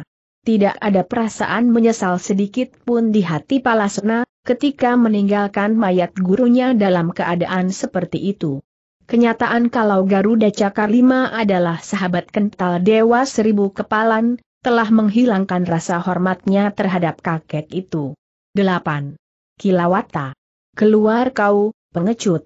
Aku datang ingin menghukummu teriak memedit tangan api keras di depan sebuah mulut gua. Kakek jangkung ini mengerahkan tenaga dalam pada teriakannya. Jadi, tak aneh kalau teriakan itu menggema sampai jauh. Usai mengucapkan panggilan, memedi tangan api berdiri diam menunggu. Demikian pula iblis tanpa wajah dan widuri yang berdiri di kanan kirinya. Namun, Palasena tidak tampak ada di situ. Memang, Palasena memutuskan untuk bersembunyi lebih dulu, dan mengintai dari tempat yang tersembunyi. Memedi tangan api menjamin Palasena akan bertemu Dewa Seribu Kepalan, apabila mau memenuhi sarannya itu dan memedit tangan apilah yang menyarankan Palasena agar bersembunyi lebih dulu. Semula Palasena menolak. Tapi ketika ditekankan kalau hal itu sangat penting, maka pemuda berpakaian coklat ini tidak bisa menolak lagi. Keinginannya untuk bertemu Dewa Seribu Kepalan sangat besar. Dia tidak keberatan untuk memenuhi permintaan seperti itu, apabila benar-benar bisa menemukan musuh besarnya. Dan kini, Palasena tengah mengintai dari balik gundukan batu, sekitar tiga tombak di belakang mereka. Tampak olehnya seorang kakek berpakaian penuh tambahan melangkah keluar dari dalam gua. Sikapnya terlihat tenang sekali. Tanpa perlu memperhatikan lebih lama pun, Palasena tahu kalau orang itu adalah Kilawata. Sementara itu, Kilawata tampak menghentikan langkahnya ketika telah berada dalam jarak dua tombak di hadapan ketiga orang tamu tak diundang itu. Rupanya kau, memedi tangan api. Entah, bagaimana caranya kau bisa sampai di sini. Dan siapa pula dua orang wanita yang kau bawa ini? Pelan ucapan Kilawata, tapi bergema di sekitar tempat itu. Sehingga, Palasena yang berada agak jauh pun mendengarnya. Kau tidak mengenalnya, Kilawata. Dia adalah kawan lamaku. Iblis tanpa wajah. Inilah wajah aslinya. Iblis tanpa wajah? Dai Kilawata langsung berkenyit dalam. Ditatapnya wajah wanita berpakaian indah itu lekat-lekat. Rupanya ini orang yang mempunyai julukan itu. Oh ya, memedi tangan api. Sikapmu sekarang aneh sekali. Mengapa kau memanggilku Kilawata? Dan, dari mana kau dapatkan nama itu sambung Kilawata? Hahaha. Jadi, kau ingin agar aku memanggilmu dengan julukan yang selama ini kau sembunyikan, karena takut bertanggung jawab akibat perbuatanmu. Baiklah. Aku akan memanggil dengan julukanmu yang dulu, Dewa Seribu Kepalan. Rupanya, kau sudah bosan juga menggunakan nama palsu, Dewa Seribu Kepalan. Dewa Seribu Kepalan tanda seru. Jadi, Kilawata adalah dewa seribu kepalan tanda seru ucap Palasena dalam hati disertai perasaan kaget di tempat persembunyiannya. Wajah pemuda berpakaian coklat itu tampak pucat pasi. Otaknya bagaikan buntu, tidak mau diajak berpikir. Sehingga untuk beberapa saat lamanya dia hanya terdiam. Kilawata yang sebenarnya adalah dewa seribu kepalan mengernyitkan Dai. Jelas, dia bukan orang bodoh. Oleh karena itu, bisa dirasakan adanya keanehan pada sikap memedit tangan api. Kau belum menjawab, dari mana kau mendapat nama Kilawata, memedit tangan api, tagih dewa seribu kepalan. Memedit tangan api tersenyum mengejek. Kalau hal itu memang sangat berarti bagimu, baiklah akan kukatakan. Nama itu ku dapat dari seorang pemuda yang tengah mencari-cari pembunuh orang tuanya. Namanya, Palasena. Kakek jangkung itu menghentikan ucapannya sejenak. Ditatapnya wajah Dewa Seribu Kepalan alias Kilawata yang mendadak pucat laksana mayat. Pemuda itu sekarang berada di sini. Tanda petik. Seketika itu pula, Dewa Seribu Kepalan tersentak. Pandangannya pun langsung diedarkan berkeliling.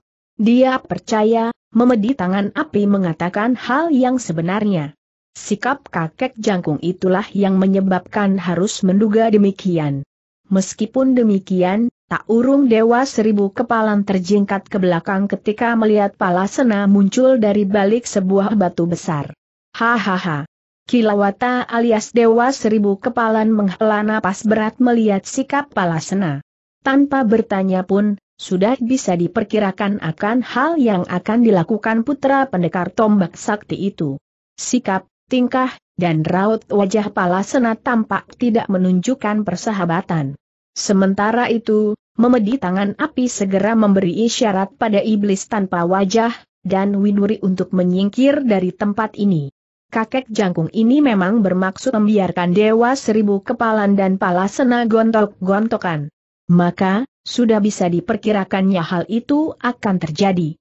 Iblis tanpa wajah tentu saja mengerti maksud memedit tangan api.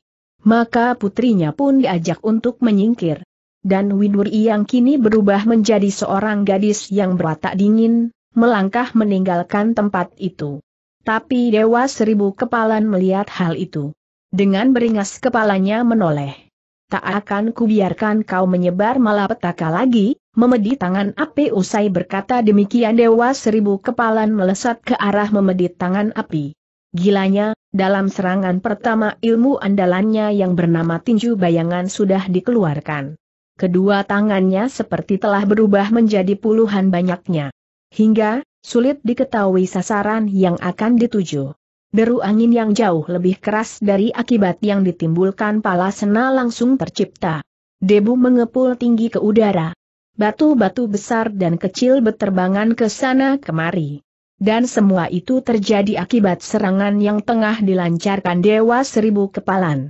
Memedi tangan api begitu terkejut melihat serangan Dewa Seribu Kepalan. Sama sekali tidak disangka kalau Pala Senat tidak langsung menyerang kakek berkulit merah ini. Bahkan pemuda berpakaian coklat itu malah termenung. Memedi tangan api tidak tahu kalau di hati pala senat tengah terjadi pergulatan batin. Dia ingin membalaskan sakit hati orang tuanya, tapi di lain pihak tidak ingin menentang gurunya. Kilawata adalah orang yang amat dihormati dan dicintainya. Bahkan, mungkin melebihi cintanya pada dirinya sendiri. Sama sekali tidak disangka kalau Kilawata itu adalah dewa seribu kepalan orang yang amat dibencinya di dunia ini. Pertarungan batin itulah yang menyebabkan pala senat termenung bagai orang kehilangan akal. Sepasang matanya menatap kosong ke depan. Bahkan sama sekali tidak tahu kalau Dewa Seribu Kepalan alias Kilawata tengah menyerang memedit tangan api. Sehingga, kakek bertubuh jangkung ini kelabakan. Meskipun demikian, Memedi tangan api adalah seorang tokoh sesat yang memiliki kepandaian amat tinggi. Maka tidak heran kalau bisa bertindak cepat. Maka buru-buru tubuhnya dilempar ke belakang, sehingga serangan Dewa Seribu Kepalan hanya mengenai tempat kosong. Tapi, tindakan Dewa Seribu Kepalan tidak hanya sampai di situ saja. Begitu serangannya berhasil dilakukan, kembali dilancarkan serangan susulan. Memedi tangan api tidak tinggal diam. Segera dikeluarkannya ilmu tangan api untuk mengadakan perlawanan. Maka, pertarungan sengit pun tidak bisa dielakkan lagi. Iblis tanpa wajah terperanjat melihat perkembangan yang sama sekali tidak disangka-sangka itu. Matanya segera melirik pala sena. Dahinya kontan berkenyit ketika melihat pemuda berpakaian coklat itu tengah termenung. Tunggu apa lagi, sena? Pembunuh orang tuamu telah berada di depan mata. Cepat balas sakit, hatimu teriak iblis tanpa wajah. Palasena masih diam.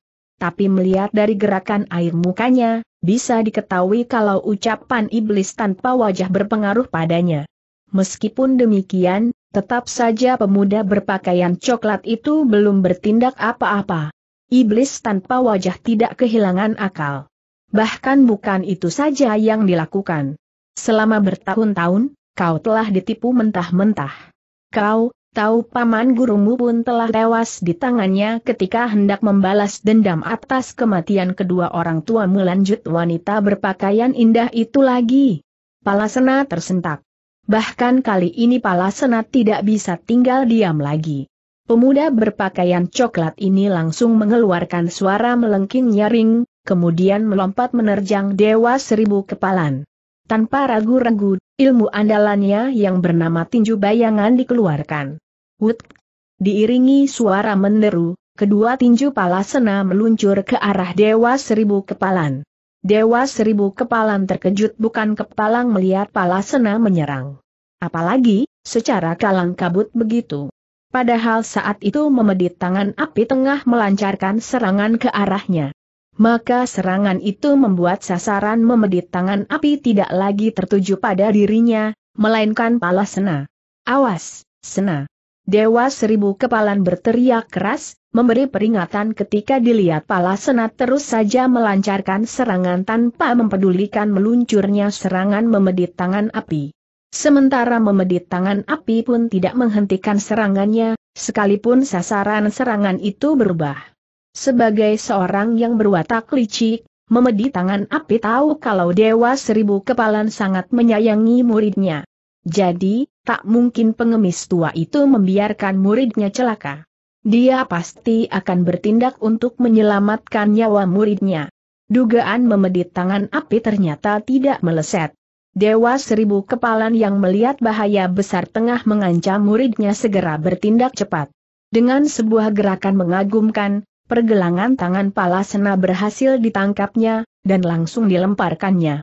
Ini adalah satu jenis ilmu yang dimiliki Dewa Seribu Kepalan. Ilmu gulat. Baru saja tubuh Palasena melayang, serangan memedit tangan api meluncur. Memang terlalu tiba-tiba datangnya. Jelas, tidak ada kesempatan lagi baginya untuk mengelak atau menangkis. Patut diacungkan jempol kemampuan Dewa Seribu Kepalan. Dalam keadaan terjepit seperti itu, tubuhnya masih mampu digeliatkan. Hasilnya, serangan itu mengenai tempat kosong. Rupanya, memedi tangan api sudah memperhitungkan hal itu. Buktinya, begitu serangannya berhasil dilakukan, kaki kanannya meluncur. Cepat bukan kepalang. Akibatnya, buk.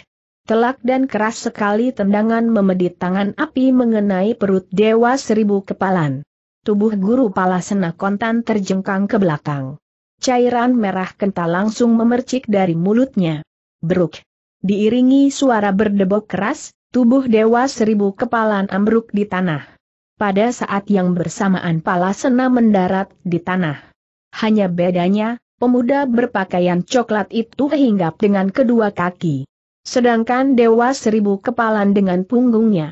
Dewa Seribu Kepalan mencoba bangkit, tapi ternyata tidak mampu. Bahkan justru dari mulutnya menyemburkan darah segar. Jelas, dia telah terluka dalam. Hahaha. Memedi tangan api tertawa tergelak-gelak penuh kemenangan. Kemudian dengan langkah satu-satu, dihampirinya tubuh dewa seribu kepalan yang tergolek. Hai hai hai. Iblis tanpa wajah pun tertawa pula, seraya melangkah di sebelah memedit tangan api. Hanya Widuri dan Palasena yang tidak menunjukkan perasaan apa pun pada wajahnya. Widuri memang seakan tidak peduli terhadap keadaan di sekitarnya. Sedangkan, Palasena masih dilanda perasaan bimbang. Sekarang balaskan dendamu, Sena. Musuh besarmu telah tak berdaya di depan mata. Kau, tahu. Ayah dan ibumu meninggal secara mengenaskan. Ibumu telah diperkosa olehnya, dan ayahmu mencoba membalas penghinaan itu. Tapi, dia kalah dan tewas. Ibumu kemudian bunuh diri, karena tidak kuat menahan penghinaan itu. Terdengar suara bergemeretak keras dari mulut Palasena ketika mendengar ucapan iblis tanpa wajah. Dengan wajah beringas, dihampirinya Dewa Seribu Kepalan. Lenyap sudah kebimbangan yang melanda hatinya. Yang ada di benaknya hanya membalas dendam pada Dewa Seribu Kepalan. Tapi sebelum Palasena sempat menjatuhkan serangan, sesosok bayangan ungu berkelebat dan menyambar tubuh Dewa Seribu Kepalan. Tap! Hei!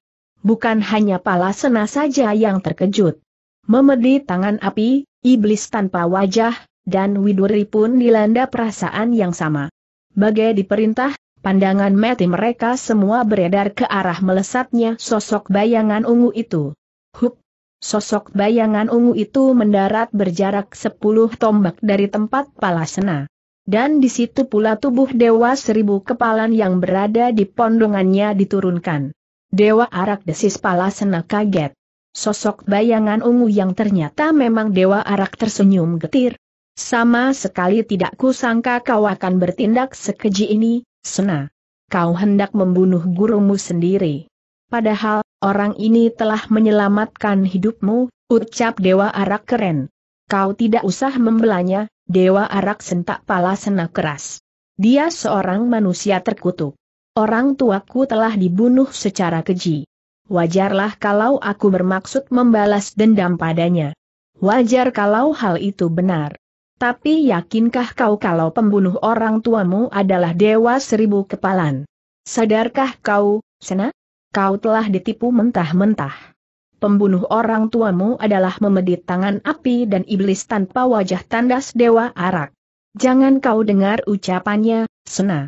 Tapi pala Sena tidak menghiraukan ucapan iblis tanpa wajah. Jelas, perkataan dewa arak benar-benar membuat hatinya penasaran bukan kepalang. Semua ucapan Dewa Arak benar, Sena. Bukan Dewa Seribu Kepalan yang membunuh orang tuamu. Aku telah menyelidikinya selama bertahun-tahun sambut sebuah suara. Bukan hanya Pala Sena saja yang menoleh. Widuri dan Iblis tanpa wajah pun melakukan hal yang sama. Mereka memang amat mengenal suara itu. Kau, kau, masih hidup tanda seru desis Iblis tanpa wajah terbata-bata ketika melihat pemilik suara itu. Dia adalah seorang laki-laki berwajah gagah, dan bercambang bau lebata, ayah tanda seru. Kau, masih hidup tanda seru. Terdengar amat lirih ucapan Widuri. Tapi, jelas dikeluarkan dengan penuh perasaan. Raut wajahnya yang biasanya membeku kaku, kini tampak menampakkan ketidakpercayaan. Di wajah cantik itu tersirat kegambaran perasaan gembira bercampur tak percaya laki-laki bercambang lebat yang tak lain dari adik seperguruan pendekar tombak sakti dan bernama Wangun Santang, menganggukkan kepala. Aku masih hidup, Widuri. Ibumu mengiraku telah tewas. Jadi, ibumu berusaha membunuhku. Dia telah membubuhkan racun dalam minumanku, hingga aku tidak berdaya. Kemudian tubuhku dibuangnya ke dalam jurang. Untung nasib baik berpihak padaku. Dewa Arak telah menolongku, tutur Wangun Santang. Ah! Wajah Widuri menampakkan gambaran perasaan yang sukar dilukiskan. Tapi, yang terlihat jelas adalah perasaan terluka. B. Benarkah ucapan ayah, butanya gadis berpakaian hitam ini, gagap. Aku bukan ibumu. Dan dia bukan ayahmu. Kau dengar. Kau adalah anak kelaparan yang dipungut si keparat wangun santang untuk teman bermain pala sena. Kau dengar. Mampuslah kau, anak liar. Hih. Wut. Krot. AKH. Widuri memekik tertahan ketika ujung kipas baja yang ditusukkan iblis tanpa wajah tepat menghujam perutnya. Memang, serangan itu terjadi demikian cepat. Akibatnya, Widuri yang tengah terpukul mendengar cerita iblis tanpa wajah, tidak sempat mengelak. Cairan merah segar langsung munkrat-munkrat dari bagian yang terluka. Widuri. Hampir berbarengan, Wangun Santang dan Palasena menjerit keras. Dan, haaat.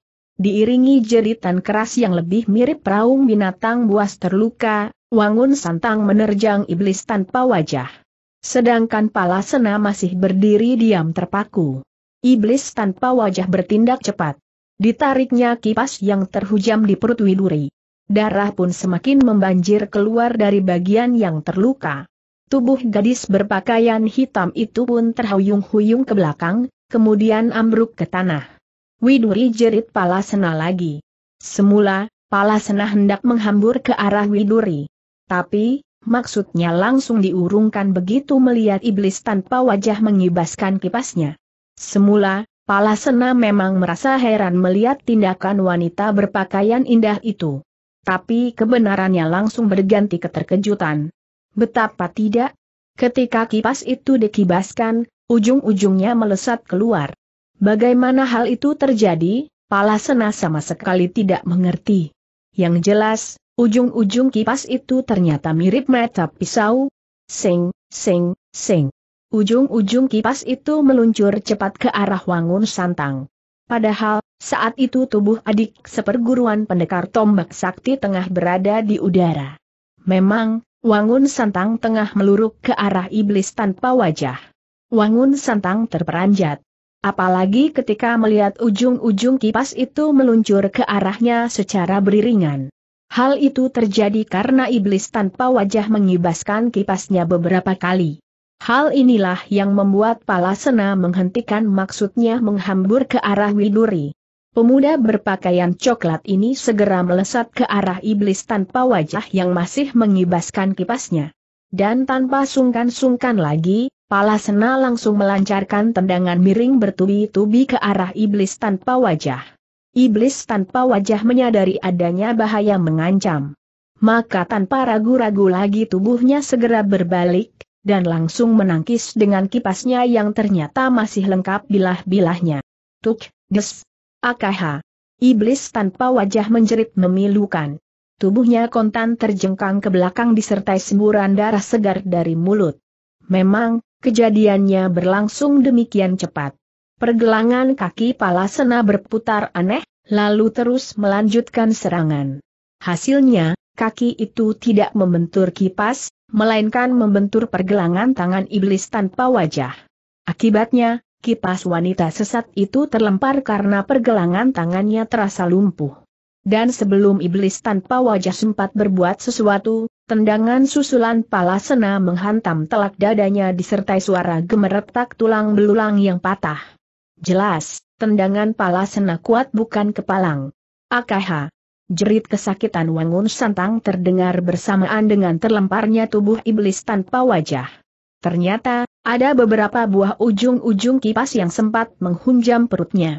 Dan itu terjadi karena ujung kipas tidak hanya satu buah, dan meluncur susul menyusul. Bruk. Hampir berbareng tubuh Wangun Santang dan iblis tanpa wajah jatuh ke tanah. Iblis tanpa wajah tewas seketika, sedangkan Wangun Santang sekarat. Dewa Arak yang sejak tadi tidak sempat berbuat apa-apa karena kejadiannya berlangsung sangat cepat, segera menghampiri Wangun Santang. Hanya sekali lesat saja, dia telah berada di dekat Wangun Santang. Hahaha. Dewa Arak menghela napas berat melihat keadaan Wangun Santang. Sekali lihat saja bisa diketahui, tidak ada harapan hidup lagi bagi adik seperguruan pendekar tombak sakti itu. Dan baru saja lah napas pemuda berambut putih keperakan itu lenyap, pendengarannya yang tajam menangkap adanya gerakan yang mencurigakan. Dan ketika kepalanya menoleh hati Dewa Arak langsung tercekat. Dilihatnya memedit tangan api menyerang ke arah Dewa Seribu Kepalan yang tengah bersemadi untuk memulihkan luka dalamnya. Hih! Dewa Arak segera menghentakkan kedua tangannya ke depan. Seketika itu, berhembus angin keras berhawa panas menyengat dari kedua tangan yang dihentakkan. Inilah jurus pukulan belalang. Dan Dewa Arak terpaksa menggunakannya untuk mencegah serangan memedit tangan api terhadap Dewa Seribu Kepalan. Memedit tangan api terkejut bukan kepalang, namun tidak berani bertindak sembarangan untuk memapak. Disadari bahaya besar yang terkandung dalam serangan itu. Maka serangannya terpaksa dibatalkan dan dia cepat melompat mundur, sehingga serangan itu menyambar lewat di depannya. Kesempatan itu memang ditunggu-tunggu Dewa Arak. Maka pemuda berambut putih keperakan itu buru-buru melesat. Dan hanya dalam sekali lesatan saja, tubuhnya telah berada di hadapan memedit tangan api. Keparat. Terpaksa kau yang akan kubunuh lebih dulu, Dewa Arak geram memedit tangan api. Hih! Kakek jangkung ini langsung melancarkan serangan berupa gedoran kedua telapak tangannya. Tampak kedua tangan itu berwarna merah ketika ilmu tangan api telah digunakan. Melihat hal ini, Dewa Arak buru-buru mengambil kucinya yang kemudian dituangkan ke dalam mulut gluk. Gluk. Gluk. Suara tegukan terdengar ketika arak itu melewati tenggorokannya. Sesaat kemudian, kedua kaki Dewa Arak pun tidak berdiri tetap lagi di tanah. Pada saat yang sama, gedoran kedua tapak tangan terbuka memedit tangan api meluncur. Maka, buru-buru Dewa Arak memapaknya. Guci yang dipegang oleh kedua tangannya segera disorongkan. Belangga. Keras bukan kepalang benturan yang terjadi. Akibatnya, tubuh Dewa Arak dan memedit tangan api sama-sama terhuyung ke belakang. Dewa Arak terjajar dua langkah, sedangkan memedit tangan api empat langkah. Memedit tangan api menggeram melihat kenyataan ini. Sama sekali tidak disangka kalau Dewa Arak memiliki tenaga dalam sekuat ini. Padahal, tenaga Dewa Seribu Kepalan saja tidak sekuat ini. Dan tentu saja hal ini membuatnya penasaran di hatinya. Maka diputuskannya untuk menyerang lebih dahsyat. Tak pelak lagi, pertarungan sengit pun berlangsung. Hebat bukan kepalang pertarungan antara kedua tokoh yang sama-sama memiliki kepandaian tinggi itu. Debu mengepul tinggi ke udara. Tanah terbongkar tak tentu arah. Itu pun masih ditambah suasana di sekitar pertarungan yang panas bukan kepalang. Hal itu terjadi karena kedua tokoh yang bertarung sama-sama menggunakan tenaga berhawa panas. Dewa Arak dengan tenaga sakti inti matahari, sedangkan memedit tangan api menggunakan ilmu tangan apinya. Sayangnya, pertarungan yang berlangsung dahsyat itu sama sekali tidak mempunyai penonton. Palasana satu-satunya orang yang sama sekali tidak terluka, tengah sibuk dengan Widuri dan Wangun Santang. Memang, Pemuda berpakaian coklat itu telah meletakkan tubuh Wangun Santang dan Widuri berdampingan. Sementara, Dewa Seribu Kepalan masih tenggelam dalam semedinya. Benarkah pembunuh orang tuaku bukan Dewa Seribu Kepalan? Paman tanya Palasena ingin memastikan. Pemuda itu masih merasa bimbang sampai saat ini. Wangun Santang mengangguk. Agar kau tidak bertanya-tanya lagi, akan kuceritakan sejelas-jelasnya Wangun Santang menghentikan ucapannya yang terputus-putus. Ditatapnya wajah Widuri yang telah menjadi mayat. Sinar mata adik seperguruan pendekar tombak baja itu tampak menyorotkan kesedihan mendalam.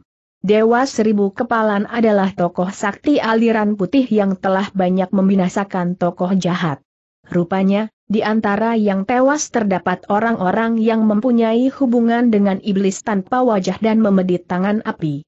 Maka, keduanya berniat membalas dendam. Kembali Wangun Santang menghentikan ucapannya. Keadaannya memang sudah mengkhawatirkan. Bahkan ketika bercerita pun, napasnya terengah-engah. Namun, usaha kedua itu gagal. Dewa seribu kepalan terlalu sakti untuk mereka.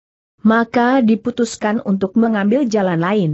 Kebetulan, iblis tanpa wajah memendam dan sakit hati pada pendekar tombak sakti. Karena, pendekar yang dicintainya itu menikah dengan wanita lain. Iblis tanpa wajah mengatur siasat. Salah seorang murid memedit tangan api disamarkan, sehingga serupa dengan Dewa Seribu Kepalan. Kemudian, Dewa Seribu Kepalan palsu ini memperkosa istri pendekar tombak sakti. Akibatnya, pendekar tombak sakti mencari dewa seribu kepalan yang padahal adalah sahabat karibnya. Dan pertarungan tidak bisa dielakkan lagi, meskipun dewa seribu kepalan tegas-tegas mengatakan kalau tidak melakukannya. Lalu, dewa seribu kepalan membunuh ayahku potong pala sena tidak sabar. Sama sekali tidak, sena. Meskipun kalau mau, dewa seribu kepalan bisa membunuh ayahmu. Tapi, itu tidak dilakukannya. Bahkan malah bersikap mengalah. Dia tidak melancarkan serangan-serangan yang melukai, apalagi membunuh. Padahal, ayahmu menyerang dengan maksud membunuh. Karena tak tahan menanggung malu, ayahmu bunuh diri. Demikian pula istrinya. Ah desah Palasena kaget. Tapi Dewa Seribu Kepalan tidak. Ingin tokoh persilatan lain tahu masalah kalau ayahmu membunuh diri. Karena, hal itu akan membuat nama besar ayahmu akan jatuh.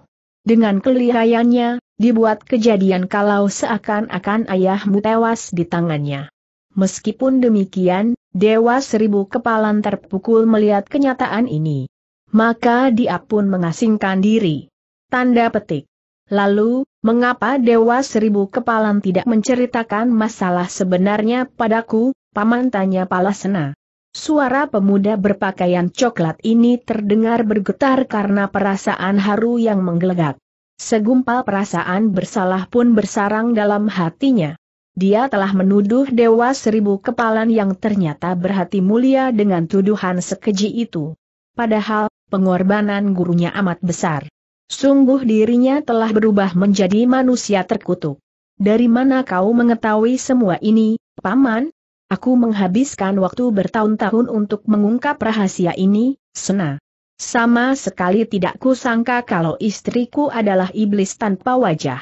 Padahal, dulu kukira iblis tanpa wajah itu adalah seorang laki-laki. Dia dijuluki seperti itu, karena tak seorang pun yang mengenal wajahnya. Kasehan, Widuri. Bertahun-tahun dia telah diasuh iblis tanpa wajah, dan dididik dengan ajaran-ajaran yang sama sekali tidak disukainya. Batinnya tertekan.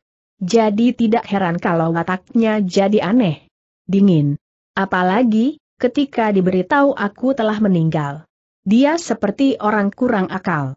Ah, aku telah menelantarkannya. Dan, AKH. Wangun Santang memekik tertahan, lalu kepalanya pun terkulai. Paman. Palasena mengguncang-guncangkan tubuh Wangun Santang sambil terus berteriak-teriak.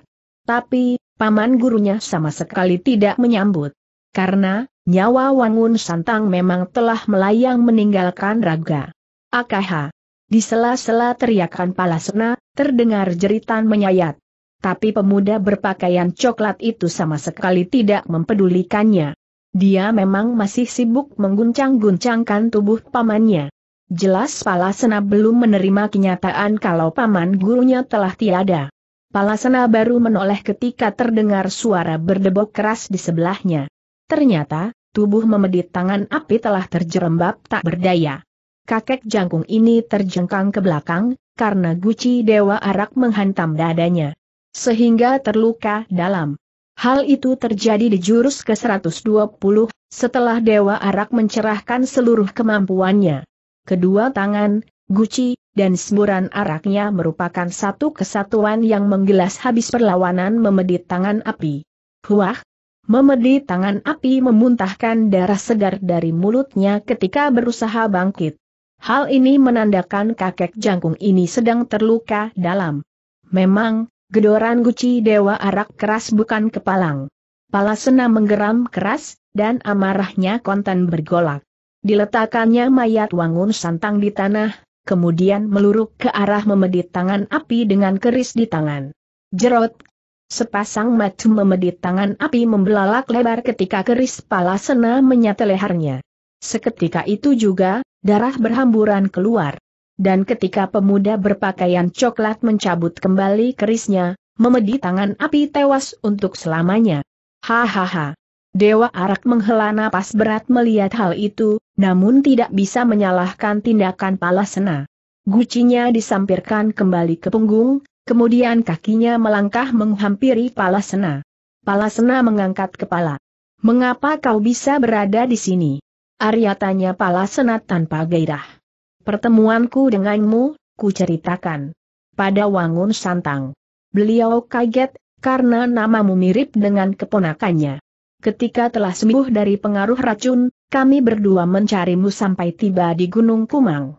Di sana, kami menjumpai murid memedit tangan api tengah memperkosa Kuntari. Lalu, murid memedit tangan api itu kubunuh. Sedangkan aku telah terlambat menyelamatkan Kuntari yang bunuh diri. Dan setelah itu, kami mengikuti jejakmu sampai di sini. Palasena mengangguk-anggukan kepala. Hanya dia sendiri yang mengerti maksudnya. Kemudian dengan langkah lesu, dihampirinya Dewa Seribu Kepalan yang masih sibuk bersemadi. Arya hanya menatapinya dengan sinar mata penuh haru. Angin senja meniup semilir lembut, seakan-akan tengah berusaha menghibur keresahan di hati Palasena. Perlahan-lahan matahari mulai tenggelam di barat. Tak lama lagi, tempatnya akan digantikan Seng Dewi Malam. Selesai.